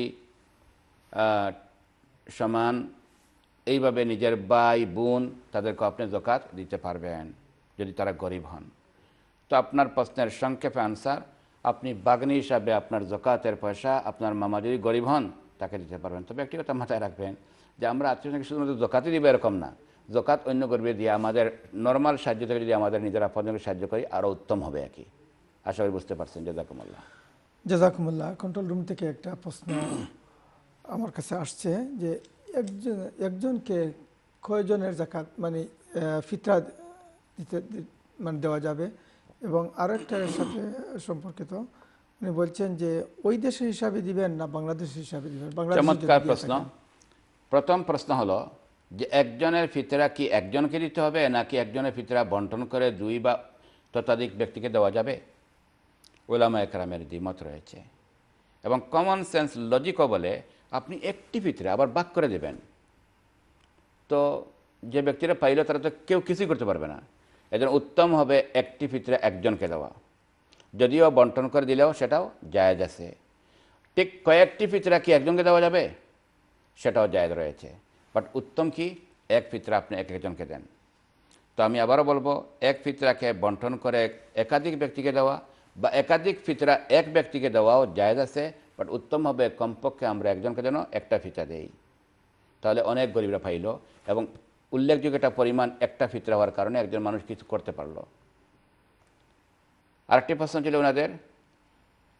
ওনাদের একটা প্রশ্ন হিসাবে দিবেন? লন্ডনের হিসাবে হিসাব কোন জায়গার হিসাব করবেন আপনি? লন্ডন হিসাবে দেবেন নাকি বাংলাদেশের হিসাবে দেবেন? এখন যদি আমি সঠিক মশলা বলি তাহলে হয়তো গরিবের একটু ক্ষতি হয়ে যেতে পারে। অ্যাডভাইস হবে যে জায়গার হিসাব করলে পয়সাটা বেশি হয় গরিবের পক্ষে স্বার্থে আপনি থাকবেন। এবার আসুন আপনি লন্ডন হিসাবে দেন পনেরো দুই কিলো আটার দাম এই দেশের হিসাবে দিলে তো ফাইভ পাউন্ড মাসাল্লাহ পাঁচশো এখন হিসাব করলে পনেরো প্রায় সাড়ে ছয়শোর মতো হয়ে যায়। ফাইভ পাউন্ড ধরলেও সাড়ে ছয়শো থেকে সাতশো পাউন্ড সাতশো টাকা হয়ে যায়। আর বাংলাদেশ হিসাবে দিলে এক ফিতে তো একশো হয় না আশি বা একশো টাকা মনে করেন। তারা বোধহয় এবার আশি বা একশো টাকা। তো আপনার এক পাউন্ডও লাগতেছে না। তো আপনি এই জায়গার হিসাবে দেবেন? নাকি বাংলাদেশ হিসাবে দেবেন?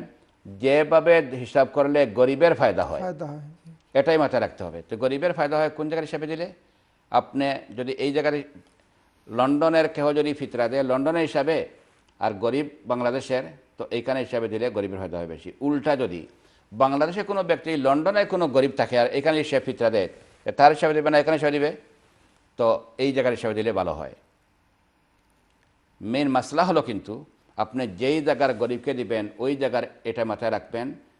এটা মাথায় রাখা জরুরি যে কমপক্ষে সে যেন এই পয়সা দিয়ে পনেরো দুই কিলো আটা যেন খরিদ করতে পারে এই পরিমাণ পয়সা তাকে আপনি দেন। এই দিক লক্ষ্য করলে কিন্তু বাংলাদেশ হিসাবে দিলেও আপনি এই দেশ থেকে বাংলাদেশ হিসাবে দিলেও আদায় হয়ে যাবে কিন্তু এইখানের হিসাব করে দিলে যেহেতু গরিবের ফায়দা বেশি হচ্ছে উত্তম আপনার জন্য হবে এই জায়গার হিসাবে দেওয়া।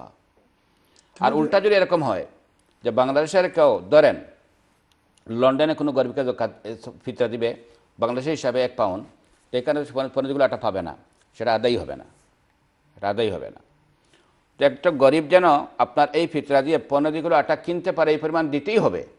আর যদি দেখা যায় যে আপনার যে জায়গায় আছেন, আপনার জায়গার হিসাবে দিলে একটু বেশি হয়, তো আপনার জন্য উত্তম এটাই হবে, বেশি দেওয়ার আপনি চেষ্টা করবেন, কম দেওয়ার চেষ্টা করবেন না। সংক্ষেপে, আপনি এই দেশে যারা আছি, আমরা এই দেশের হিসাব অনুযায়ী আমরা একটু বাড়াই আমরা হিসাব করব, যাতে বাংলাদেশেটা গরিব বা অন্য দেশের গরিব যেন একটু বেশি পায়। কারণ এই দেশের ফাউন্ডেশ অন্য দেশে হিসাব করলে অটোমেটিকলি একটু বেশি হবে। তো আমরা বেশি দেওয়ার আমরা চেষ্টা করি। ঠিক আছে ইনশাল্লাহ বাট মাথায় এটা রাখতে হবে, যে জায়গায় গরিবকে দেবো, সেই গরিব যেন পনেরোগুলো আটা কম কিনতে পারে। যদি তা না হয়, তাহলে আদায় হবে না। তো আমি আবারও কথাটা আমি বারবার বলতেছি, আমরা এই দেশ থেকে যখন আমরা ফিতরা দেই, তো আমরা এই দেশের হিসাবে দিলে ভালো হয়, অন্য দেশের গরিবরা একটু পরিমাণে বেশি পাওয়ার সুযোগ হয়। জাজাকুমুল্লাহ। জাজাকুমুল্লাহ খায়ের আমরা দেখি পরবর্তী প্রশ্নকে নিয়ে আসছেন। হ্যালো কলার সালাম আলাইকুম। হ্যালো আসসালামু আলাইকুম। ওয়ালাইকুম সালাম রহমতুল্লাহ। জি হুজুর আমি একটা জিনিস জানতাম আসলাম বাকি ওজনে রোজার খোফারা জানে কত করিয়ে আচ্ছা আর রোজার কফারা বলতে আপনার কিতাব মিন খররা যাবে মারার খান রোজার একটা ফাররা না থাকেন কত হরিতে একটা নানি জি জি আমি করি আর কোনো প্রশ্ন আছে নি? জি না। জি। না, আমি কইলাই রোজা মানে তাই বেমারের কারণে রোজা রাখতে পারলা না। তো তো রোজার যে বদলা দেখা দিবা। ঠিক আছে একটা আসলে ফিদিয়া। ইগুর নাম হইল কি ফিদিয়া। আমি জিজ্ঞাসি আমি। একটার আরবি ভাষায় কিতাবের একটা ফিদিয়া হয় না। তো আপনার প্রশ্ন বাঙালি ভাষায় কিতা খোফারা না খয়ের আমি। আর কফারা হইল কি যদি কেউ ইচ্ছাকৃতভাবে রমজান রোজা বাঙ্গি লাইন আচ্ছা আচ্ছা তো হগুর শাস্তি হিসাবে যে হগুলি কফারে গড় বড়। শিকটা হইল কি যদি সেও রমজান শরীফর দিনের বেলা তাইন খাইলি সইন অথবা কোনটা পান খরচইন অথবা স্ত্রী সবাস করিলি সইন ইচ্ছাকৃতভাবে যে তান রোজা বাই গেল ইগুলো লাগি তান তবা করতে হইবা, আর ই রোজার খদা করতে হইবা, আর শাস্তির পেনাল্টি হিসাবে তিনটা অপশন এটা গোলাম ফিরি কর্তা অন্ত গোলাম ফাইতা নাই। তাইলে তাইন ষাটজন মিসকিনরে খানি খাবাইতা সরি ফলা হইল কি তাইন ষাটটা রোজা রাখতা আড়াই মাস ধরে রাখতে হইবা এই শাস্তি হিসাবে না পারলে গোলাম ফিরি করবা আর না ষাট মিসকিন টাকা পাইবা। পয়লা ষাটটাও রাখতে হইবা তাই কেন তাই বাংসইন? শাস্তি। ওগুলোর নাম এই কফারা। কফারা মানে এমন একটি কাজ, যে কাজের মাধ্যমে কৃত অপরাধ, কম্পানসেশন হয়, এক্সপিয়েশন হয়ে যায় গুণা মাফ হয়ে যায়। এটা শাস্তি হিসাবে আসে। আসলে ওইটাকে কফারা বলে। কিন্তু আমরা অনেক সময় বেমার হওয়ার কারণে বা বয়স্ক হওয়ার কারণে রোজা রাখতে পারতেছেন না। এর বদলে যে পয়সা দেওয়া এটা কফারা নয়, এটার নাম ফিদিয়া। কোরআন আল্লাহ বলেছেন ফিদিয়াতুন কি বলেছেন? ফিদিয়াতুন। ইউতীকুনাহু ফিদিয়াতুন রোজা রাখতে অক্ষম। বেশি বয়স্ক দুর্বল হওয়ার কারণে বা বেমারের কারণে দুর্বল হওয়ার কারণে ওনারা রোজা রাখার কারণে এর পরিবর্তে ফিদিয়া দিবেন। ওই ফিদিয়াটা হলো এক এক দিনের জন্য এক একটা ফিতরা। নির্ভরযোগ্য ফিদিয়ার পরিমাণটা হলো এক রোজার জন্য একটি ফিতরা। আমরা একটু আগে আলোচনা করেছি ফিতরার পরিমাণ, কমপক্ষে ফাইভ থেকে সেভেন পাউন্ড দেবেন পার পার ডে তো আপনাকে রমজান শরীফের এক এক দিনের পরিবর্তে এক একটি রোজার পরিবর্তে একটা ফুল ফিতরা দিতে হবে। সেই হিসাবে কমপক্ষে যদি আপনি পাঁচ পাউন্ড করে ধরেন সরি পুরা রমজান শরীফে হান্ড্রেড অ্যান্ড ফিফটি পাউন্ড হবে। যেহেতু জিনিসপত্রের দাম আপ হয়েছে, সেই হিসাবে সাত পাউন্ড করে ধরেন ওটাই ভালো। তো সাত পাউন্ড করলে টু হান্ড্রেড টেন পাউন্ড হয়। তো আপনি টু হান্ড্রেড বা টু হান্ড্রেড টেন পাউন্ড দিয়ে দিলেন। কারণ মালের ক্ষেত্রে মিনিমাম তো দিতেই হয়, বাড়াইয়ে দিলে কোনো সমস্যা নাই। তো এই হিসাবে একটু বাড়াই দেওয়ার চেষ্টা করলেন। এই এর নামই হলো ফিতিয়া। ফিদিয়া কে দেবেন? আমি একটু আগে বলেছি। অনেকে আছেন প্রেগনেন্ট হলে। একজন মা হয়তো গর্ভবতী অথবা একজন মা বাচ্চাকে দুধ পান করাইতেছেন। অনেক এই কারণে রোজা ভেঙে ফেলেন। না, এই কারণে রোজা ভাঙতে পারবেন না। হ্যাঁ যদি অবস্থা এমন হয় যে এই রোজা রাখলে গর্ভবতী মার সমস্যা হবে বা তার পেটের সন্তানের সমস্যা হবে বা উভয়ের সমস্যা হবে। কথা লক্ষ্য রাখবেন। গর্ভবতী মা গর্ভবতী হওয়ার কারণে রোজা ভাঙতে পারবেন না। ভাঙতে পারবেন তখন যদি রোজা রাখার কারণে ডক্টর বলেছে অথবা ওনার এক্সপিরিয়েন্স থেকে যে রোজা রাখলেই ওনার ক্ষতি হবে বা পেটের সন্তানের ক্ষতি হবে বা উভয়ের ক্ষতি হবে। এই তিন অবস্থায় একজন গর্ভবতী মার জন্য রোজা রাখার পারমিশন আছে। সমান একজন মা দুধ পান করাইতেছেন। শুধু দুধ পান করাইতেছেন বলেই রোজা বাঙ্গার কোনো সুযোগ নাই। হ্যাঁ ভাঙতে পারবেন তখন। যদি রোজা পান করানো অবস্থায় রোজা রাখলে হয়তো উনার কষ্ট হবে বা সন্তানের ঠিকমতো দুধ পাবে না বা উভয়ের সমস্যা হবে। তখন গিয়া ওই মা রোজা রাখার সুযোগ রয়েছে। তা তাহলে কী বোঝা গেল, গর্ভবতী হলেই বা দুধ পান করালেই রোজা ভাঙবেন? না। যদি সমস্যা হয় তাহলে ভাঙবেন। বাংছেন এখন, পরে কি করবেন? ফিদিয়া দেবেন নাকি কদা করবেন? অনেকে ফিদিয়া দিয়ে দেন। ফিদিয়া দিলে হবে না। উনি পরবর্তীতে কদা করবেন, কারণ এটা টেম্পোরারি সমস্যা। একজন মা তো আর সারা জীবন প্রেগনেন্ট থাকেন না। একজন মা তো সবসময় দুধ পান করান না। উনার হয়তো ফিউচারে সুযোগ আসবে রোজা রাখার। সেই হিসাবে ওলামা একরাম বলেন ফিদিয়া না দিয়ে উনি সুবর্ণ মানে মুনাসির সময়ে ওই রোজার কদা করবেন বিদায়। এখন রোজা রাখবেন না পরবর্তী তার কদা করবেন। এটাই, ফিদিয়া দেবেন না। তো আপনার প্রশ্নের জবাবে আমি এটাই বলব এক একটা ফিদিয়ার পরিমাণ মানে এক একটা ফিতরা। অর্থাৎ প্রত্যেক রোজার বদলা এক একটা ফিতরার পরিমাণ পয়সা গরিবকে দিতে হবে। জাজাকুমুল হাসান দাদা জাজাকুমুল্লাহ খায়ের আমরা দেখি পরবর্তী প্রশ্নকে নিয়ে আসছেন। হ্যালো কলার সালামু আলাইকুম। জি আসসালামু আলাইকুম রহমতুল্লাহ। আমি এখন প্রশ্ন বলতে। চাই। জি আমার এক ফ্রেন্ড না এখানে এই দেশের কি তারপর উনার ভাই বোন এগুলো সব গরিব দেশে উনি এখানে অ্যাক্সিডেন্ট হয়েছে যে ও রোজা রাখতে পারে না। রোজার ফিরিয়ে গুলো ওর ভাই বোন খাইতে পারবে? একটু জানলে ভালো আমরা বুঝতে পারতেছি। আর কোনো প্রশ্ন আছে? একটা প্রশ্ন হয়েছে যে আমি নামাজ যদি এখন রাত্রে নামাজ যে আমার শরীর কাঁপে বেশি কোনো সময় বেশি খাঁপলে আমি যদি নামাজ এক রাখাত বসি বসি বা একজন তারপরে এটা তো কোনো অসুবিধা হবে? বাকি নামাজ তো আপনি দাঁড়িয়ে পড়তে পারেন তাই না? দাঁড়িয়ে ফরি ইনশাল্লাহ ফরি ওর মা আমার শরীর এখন শরীর একটু বেশি কাঁপার তো একটু যেন কোনো সময় একটু এক রাখাত ফরি ওখানের মধ্যে বসলে ওগুলো আর রাখাত বসে পড়তে পারব নাকি দাঁড়াই দিতে হবে এটা একটু আমরা উত্তর দিয়েছি। প্রথম প্রশ্ন, একজন লোক এই দেশে আছেন আপনার আত্মীয়ের মধ্যে, উনি রোজা রাখতে পারেন না। এখন রোজা না রাখা যদি আমি যে বললাম, হয়তো বয়স্ক হওয়ার কারণে ব- বেমারি হওয়ার কারণে, এখনও পারবেন না ভবিষ্যতে পারবেন না, ওই ব্যক্তি ফিরিয়ে দেবেন। তো আপনার প্রশ্ন হলো, সেই ফিদিয়ার পয়সা দেশে ওনার ভাই বোন গরিব আছে তাদেরকে দিতে পারবেন? ইয়েস যদি ভাই বোন গরিব হন, দিতে পারবেন। কারণ আমি আগেই বলেছি, গরিবদেরকে দিতে হয় এবং আত্মীয়র মধ্যে যদি গরিব হন, মা বাবা এবং নিজের সন্তান ছাড়া, স্বামী স্ত্রী সম্পর্ক ছাড়া, বাকি অন্যান্য সম্পর্কের আত্মীয় গরিব হলে তাদেরকে যেভাবে জকাত দেওয়া যায়, আপনার ফিদিয়া বা ফিতরাও তাদেরকে দিতে পারবেন। অতএব এই দেশের উনি, উনার ফিদিয়ার পয়সাগুলা, উনার বাইকে বা বোনকে যদি গরিব হন, দিতে পারবেন ইনশাল্লাহ যদি ওনারা গরিব হন। ঠিক আছে ইনশাল্লাহ আর দ্বিতীয় প্রশ্ন হলো, আপনার নমাজ দাঁড়িয়ে পড়েন। তারাবিন নামাজ লম্বা হওয়ার কারণে অনেক সময় সারা লম্বা টাইম দাঁড়াইলে মাথায় ঘুরাইয়া যায়। তো ওই সময় কি মাথায় ঘুরানো শুরু হয়ে গেলে বসে পড়তে পারবেন না পারবে না। যদি এভাবে সমস্যা হয়, তাহলে অবশ্যই বসে পড়তে পারবেন।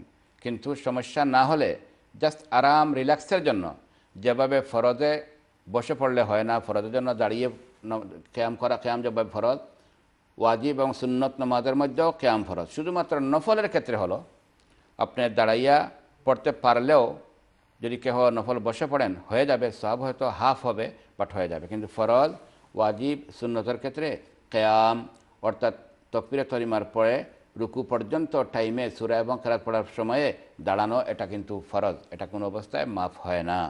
তারাবিন নামাজ যেহেতু সুনতে মোয়াক্কাদা অনেকেই মনে করেন মোস্তাবন এটা মোস্তাবন সুনতে মোয়াক্কাদা এবং তারাবিন নামাজ বিশ রাকাত, অনেকেই মনে করেন আট বা এরকম ডিফারেন্ট নম্বর রাকাত মনে করেন, কেউ আট রাকাত মনে করেন, এটাও সঠিক নয়। এটা সুনতে মোয়াক্কাদা এটা মোস্তাহাব নয় তাহাজুদের মতো, এবং তার নাম্বার রাখাতো ফিক্স বিশ রাকাত আমরা মনে করি। তো যেহেতু এটা সুন্নত ফরজ, ওয়াজ এবং সুন্নত নামাজের মধ্যে কেয়াম ফরজ, তো আপনি দাঁড়িয়েই পড়তে হবে। হ্যাঁ যদি মারাত্মক সমস্যা হয়, মাথা ঘুরাইয়ে যায় তখন হয়তো বসে পড়লে যাবে ফরজ নামাজ বসে পড়া যায় ওই অবস্থায় আপনি তারাবি বসে পড়তে পারবেন ইনশাআল্লাহ সমস্যা নেই। জাজাকুমুল্লাহ খায়ের আমরা দেখি পরবর্তী প্রশ্নটা নিয়ে আসছেন। হ্যালো কলার সালামু আলাইকুম। হ্যালো। হ্যালো আসসালামু আলাইকুম। ওয়ালাইকুম সালাম রহমতুল্লাহ।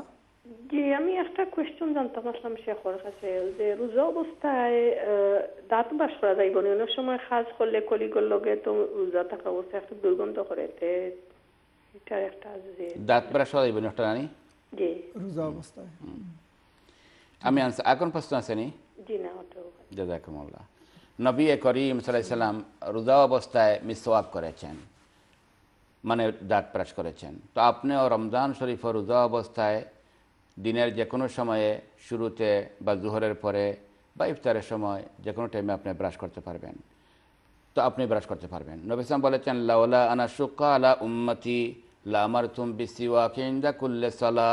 আমার উম্মতের কষ্ট হবে, এটা যদি আমার আশঙ্কা না হতো, প্রত্যেক নামাজের সময় আমি মিসা করাকে বাধ্যতামূলক করে দিতাম। এটা রোজা অবস্থায় আনার অবস্থায় কোনো, রোজা অবস্থায় কোনো ফরক করা হয় নাই। তাহলে বুঝালে প্রত্যেক নামাজের সময় মিসওয়াক করা যাবে সুন্নত, রমজান শরীফে আপনি নামাজের সময় মিসওয়াক করতে পারবেন।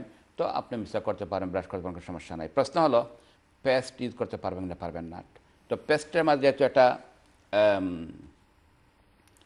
টেস্ট আছে, একটা স্বাদ আছে, তো সেই স্বাদটা যদি আপনার গলায় চলে যায়, রোজা ভেঙে যাবে, তাহলে তো রিস্ক এখন যদি আপনি এত সামান্য আপনি করেছেন এবং খুব কেয়ারফুলি করেছেন যে এই টেস্টটা আপনার গলার ভিতরে তুতুর সঙ্গে মিলে চলে যায় না, তাহলে হয়তো রোজা তো ভাঙবে না অবশ্য বাট এগুলো আমাকে বলতেছেন এটা অনুত্তম মকরুয়ের তানজিহি, তো না করাটা ভালো।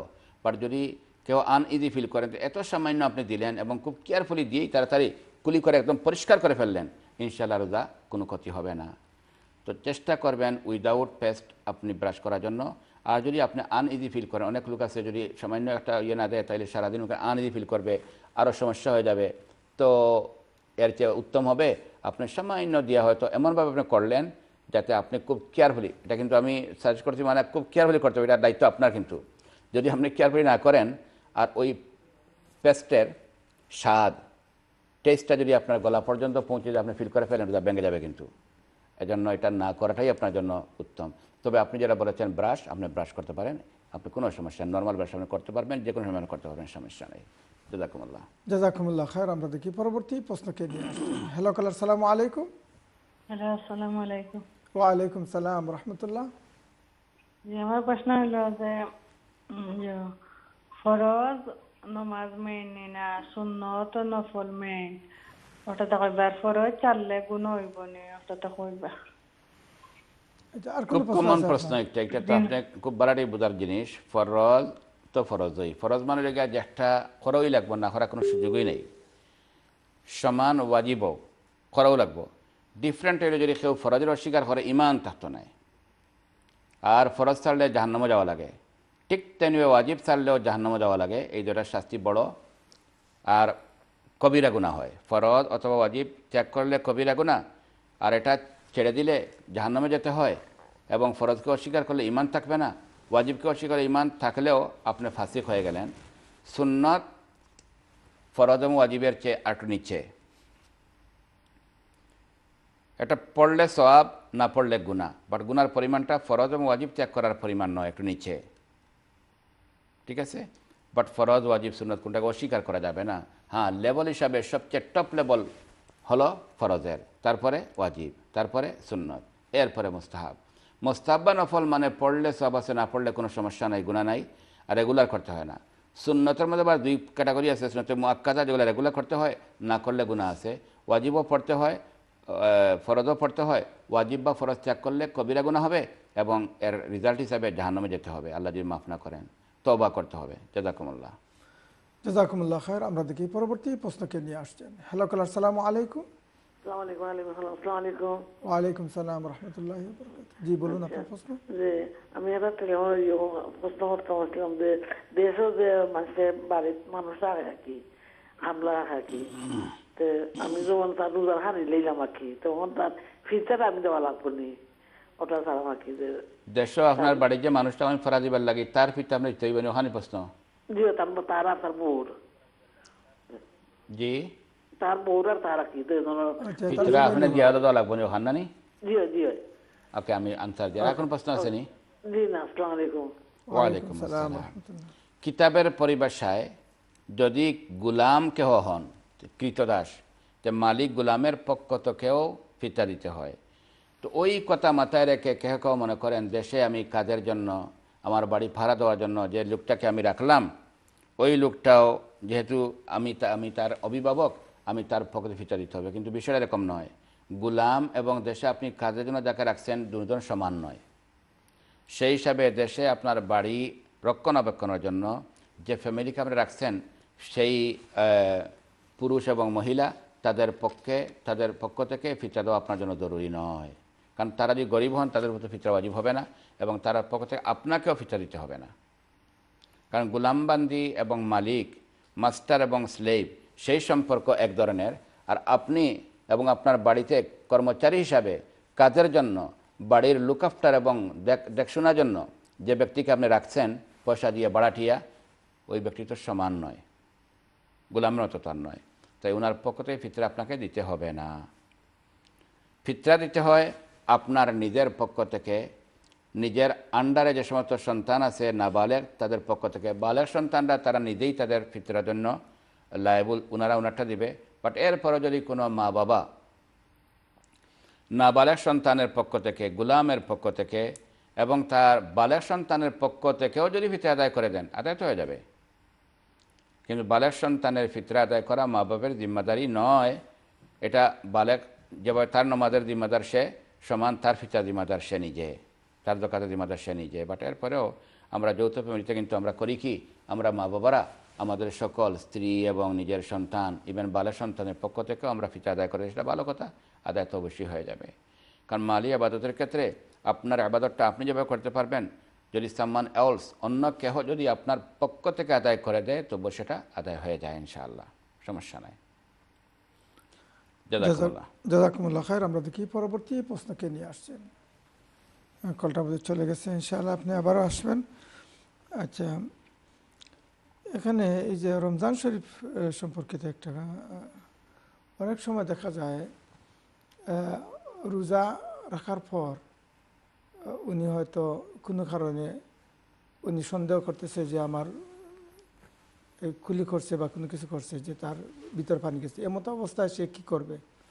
রোজা ভাঙবে না রোজা সন্দেহের কারণ রোজা ভাঙ্গে না, যে কোনো জিনিস ইয়ে চলে এখানে যেতে হবে। হ্যাঁ আল্লাহ নবী যেটি বলেছেন যে রমজান শরীফে অজু করার সময় কুলি বা নখমানি দেওয়ার সময় আমরা খুব সতর্কতা অবলম্বন করব।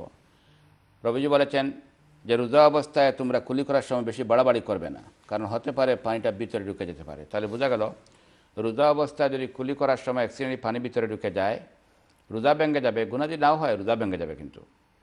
বাট সন্দেহের কারণে হয়তো ঢুকে গেছে, এই সন্দেহে ইসলামে কোনো স্থান দেয় না। রমজান শরীফে যে সময় জিনিস ভাঙবে না, সেটি হলো, আপনি যদি কোনো কাপিং বা সিঙ্গা দেন, এই ক্ষেত্রে ওলামা কারণ এখতলাফ রয়েছে। অবশ্য কেউ বলেছেন ভেঙে যাবে, তাই রমজান শরীফে দিনের বেলায় সিঙ্গা বা কাপিং না করাটাই ভালো। তেল ব্যবহার করলে কোনো সমস্যা নাই, সুরমা ব্যবহার করলে কোনো সমস্যা নাই। যদি স্বপ্নদোষ হয়ে যায়, তাও রোজা ভাঙে না। জানাবতের অবস্থায় যদি দিন হয়ে গেছে, গোসল ফরজ ছিল আপনি রোজা রাখছেন ফজর টাইম ঢুকে গেছে, কোনো সমস্যা হবে না, এবার নবী ইসলামরা হয়েছে। তো একটা কথা আমাদের মাথায় রাখতে হবে, আমি বলব যেটি, যে অনেক লোক কিন্তু রাত্রেবেলায় পান খেয়ে মুখের মধ্যে পান রেখে ঘুমিয়ে যান। ঘুম থেকে উঠে হয়তো মুখের মধ্যে পানে কিছু আসর রয়েছে, আপনার রোজা কিন্তু ভেঙে যাবে। খাবার যদি কোনো যদি মুখে রেখে যদি আপনি ঘুমিয়ে পড়েন, আপনার রোজা ভেঙে যাবে। তো আমি পরিষেবা এটাই বলব রমজান শহরের মশলার ক্ষেত্রে আপনার পার্সোনাল মশলা যদি কোনো সন্দেহ হয়, আপনি কোনো বিজ্ঞ আলমের কাছ থেকে জেনে নেবেন ইনশাআল্লাহ। আল্লাহ আমাদের সকলকে সঠিকভাবে রমজান শরীফের সিয়াম সাধনার মাধ্যমে সিয়ামের পূর্ণ ফজিলত এবং আল্লাহ পাকের রমজানে দেওয়া যে আল্লাহর উপহার সৌগাত রহমত, মাগফিরত জাহানদের মুক্তি আমরা প্রত্যেক অর্জন করতে পারি, সেই প্রত্যাশা ব্যক্ত করলাম। আল্লাহ আমাদেরকে তফিদান করুন। আমিন। জাজাকুমুল্লাহ।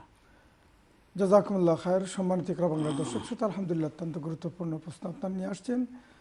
আপনাদের প্রশ্নের মাধ্যমে ইসলামিক কিউএনএ ওই ইকরা প্রোগ্রাম আলোকিত হচ্ছে। আপনাদের সুন্দর সুন্দর প্রশ্নের উত্তর দিচ্ছেন শেখুল হাদিস মুফতি শেখ আব্দুর রহমান দামাত পরাকাতহম হুজুরকে আমি মুবারকবাদ জানাচ্ছি। আমিও আপনার সহ আমাদের দর্শকতা ভাই বোন সকলকে আমি ধন্যবাদ জ্ঞাপন করছি। আল্লাহ যেন সকলকে কবুল করেন। আমি জাজাকুমুল্লাহ।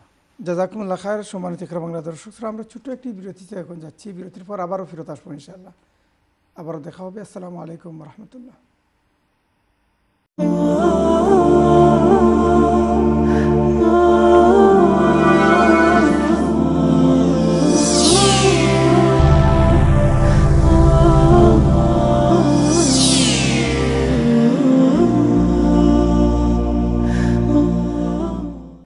আসসালামু আলাইকুম রহমতুল্লাহি ওবরাকাত সম্মানিত ইকরা বাংলা দর্শক শ্রোতা, আলহামদুলিল্লাহ অত্যন্ত গুরুত্বপূর্ণ Islamic Q and A with Iqra programme আপনারা দেখছেন এবং আপনারা অত্যন্ত গুরুত্বপূর্ণ প্রশ্ন নিয়ে আসছেন।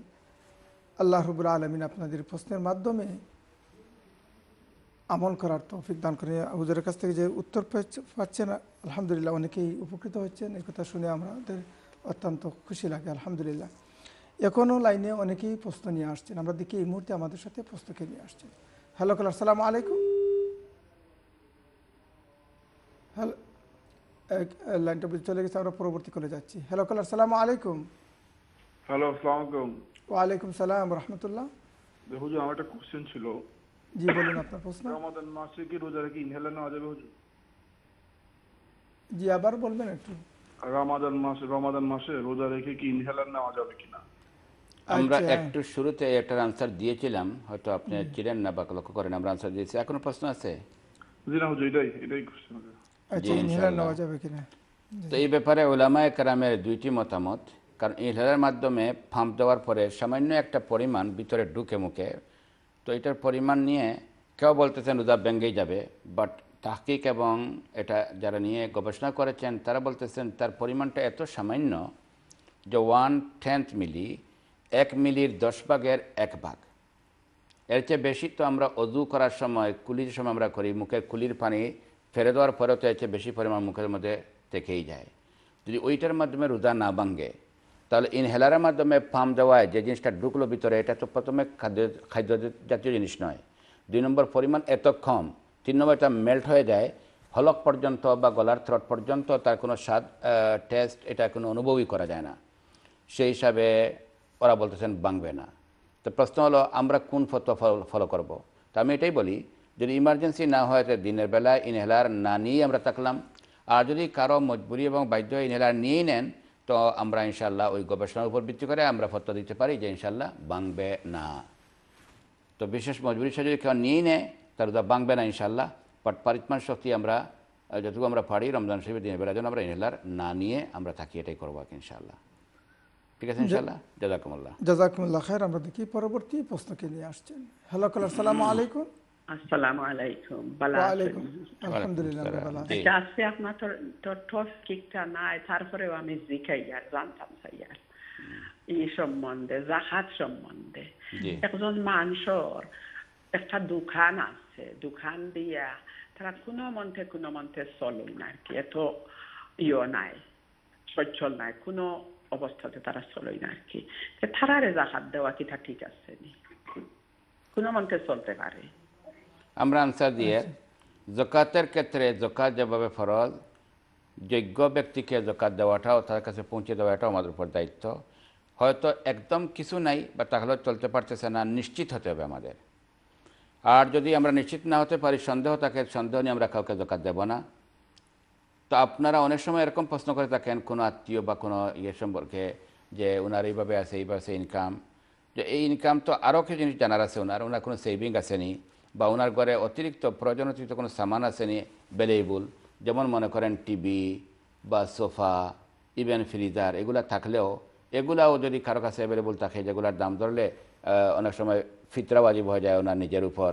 উনি যে ফিতরা দিতে হয়, উনি কোরবানি দিতে হয়, এরকম লোককেও জকাত দেওয়া যাবে না বলে ওলামা একরাম বলেছেন। তো ওই হিসাবে জিনিসটা একটু সন্দেহের পর্যায়ে চলে আসে। তো আপনি যদি মনে করেন যে এইভাবে তার কোনো সেভিংও নাই আর তার ইনকাম দিয়ে তার চলতেছে না, স্বাভাবিকভাবে চল- চলতে পারতেছে না, তাহলে আপনি দোকান দিতে পারবেন। বাট চলা ব্যাপারটা কিন্তু, এটা কিন্তু এটা একটা দাদা। আউদেশ আমরা যারা আছি, প্রত্যেকের স্বশ ইনকামের ভিত্তি করে দেখবেন, আমরা তো আমাদের অনেকের চাহিদা আমার প্রয়োজন, আমরা আরও চাই আরও চাই তো লাকচারি লাইফের একটা চলা আছে, আর একটা আছে কোনো মতে জীবন বাঁচানোর চলা। তো ইসলামের চলা বলতে এখানে বোঝাচ্ছে জীবন বাঁচানোর মতো চলা। যদি সেই পরিমাণ না থাকে, তাকে আপনি দোকান দিয়ে সাহায্য করতে পারবেন ইনশাআল্লাহ। তো সংক্ষেপে আপনার আনসার এটাই, আপনি যার কথা বললেন, যদি তার ইনকাম যদি চলতেছে না, মোটামুটি জরুরি চলা যেটা, তো আপনি তাকে দোকান দিলে দোকান আদায় হবে ইনশাআল্লাহ। জাজাকুমুল্লাহ। জাজাকুমুল্লাহ খায়ের আমরা দেখি পরবর্তী নিয়ে আসছেন। হ্যালো কলার সালাম আলাইকুম। আচ্ছা কলটা চলে গেছে।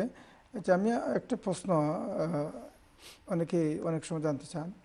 অলস ব্যক্তি যাদেরকে বলা হয় কি মানে মনে করেন সে কাজ করতে চাইলে কাজ করতে পারে অথবা কোনো কিছু ইনকাম করতে চাইলে পারতো, কিন্তু সে কোনো কিছু না করে হাত পেতে পেতে আত্মীয় স্বজনের কাছে এরকম তার জীবনটাই কাটা মানে কাটা শেষ করে দিচ্ছে। এইরকম লোকদেরকে কি জাকাত দেওয়া ঠিক হবে কি না? হাদিসের মধ্যে নবী করিম সাম বলেছেন, একজন মানুষ হাত পা সব কিছু তার সঠিক আছে। সচ্ছল, গায়ে শক্তি আছে, কাজ করে খেতে পারবে। তার জন্য সল করা যাবে হারাম। যদি সে চল করে পাবে হাত পাতায়, কঠিন কেমতে তার হাঁসের মধ্যে উঠবে, তার চেহারার মধ্যে কোনো গুষ্ট থাকবে না। হাড্ডি বের হয়ে থাকবে, ভয়ঙ্কর মনে হবে, ডর লাগবে। তাকে বেইজ্জত করা হবে। এবং এ ধরনের ব্যক্তিকে এইভাবে আপনি যদি দেন, গরিব হলে হয়তো আপনার এটা আদায় হয়ে যাবে বাট অনুত্তম হবে। আর যদি সে গরিব নয় তা তো দেওয়াই যাবে না। তো এইভাবে অলস ব্যক্তি, সুস্থ, সবল কাজ করে খেতে পারবে। অলসতার পরিপ্রেক্ষিতে কাজ করে না। তার জন্য সল করা হারাম। আপনার জন্য তাকে জকাত বা এইভাবে সাহায্য করাটাও কিন্তু অনুত্তম।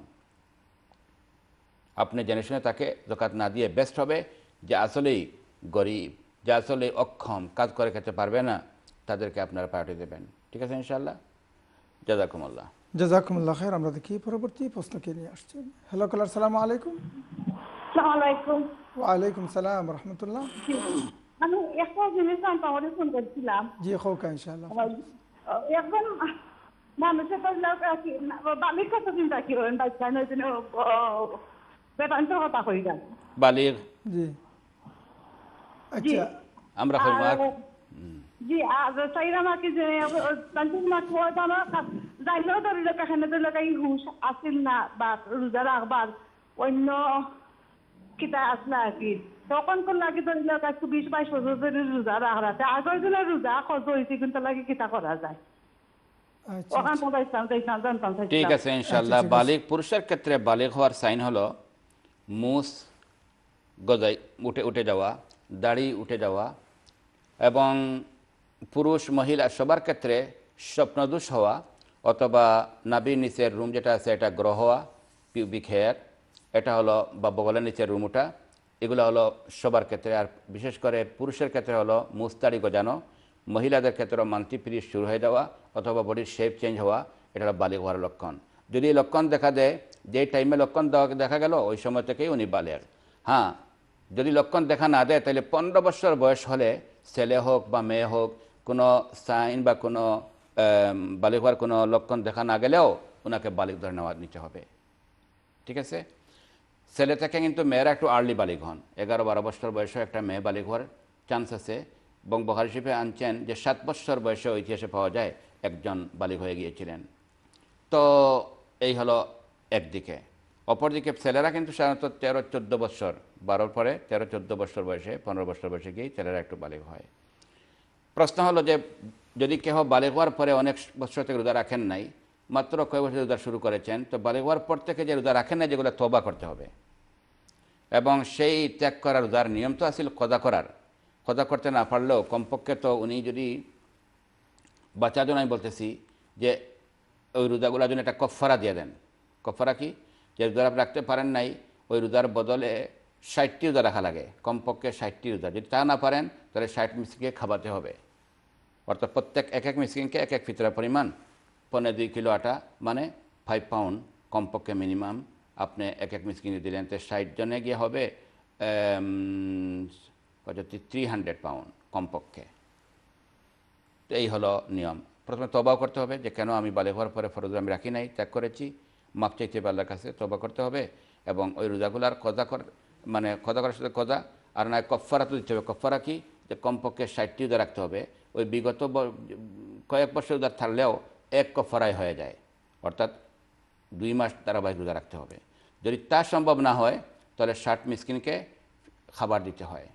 ঠিক আছে ইনশাল্লাহ জেদাকুমুল হাসান জেদা জাজাকুমুল্লাহ খায়ের সম্মানিত ইকরা বাংলার দর্শক শ্রোতা, আলহামদুলিল্লাহ অত্যন্ত গুরুত্বপূর্ণ প্রশ্ন আপনার নিয়ে আসছেন। আপনাদের প্রশ্নের মাধ্যমে ইসলামিক ইউএনএ উইথ একরা প্রোগ্রাম আলোকিত হচ্ছে। আপনাদের এই সুন্দর প্রশ্নের উত্তর দিচ্ছেন শেখুল হাদিস মুফতি শেখ আব্দুর রহমান দামাত বারাকাতহম। হুজুরকে আমি মুবারকবাদ জানাচ্ছি। আমিও আপনার সহ সকলকে ধন্যবাদ জ্ঞাপন করছি। মাহে রমজান আমাদের মধ্যে যেন নিয়ে আসে শান্তি রহমত এবং মাগফিরত জাহানতে মুক্তির উপহার। আল্লাহ আমাদের সকলকে সেই তফিক দান করুন। আমি জেদাকুমুল্লাহ সম্মানিত ইকরা বাংলার দর্শক শ্রোতা নিয়মিত শনি রবি সোম এবং মঙ্গলবার বারোটা থেকে দেড়টা পর্যন্ত ইসলামিক এনে দেখার আমন্ত্রণ জানিয়ে আজকের মতো এখানে বিদায় নিচ্ছি। ভালো থাকুন, সুস্থ থাকুন। সুহান কাল্লাহমদিকা হামদিকা আশহাদু আল্লাহ ইলাহ ইল্লা আন্তা, আস্তাগফিরুকা ওয়া আতুবু ইলাইক। আসসালামু আলাইকুম রহমতুল্লাহি ওবরাকাতু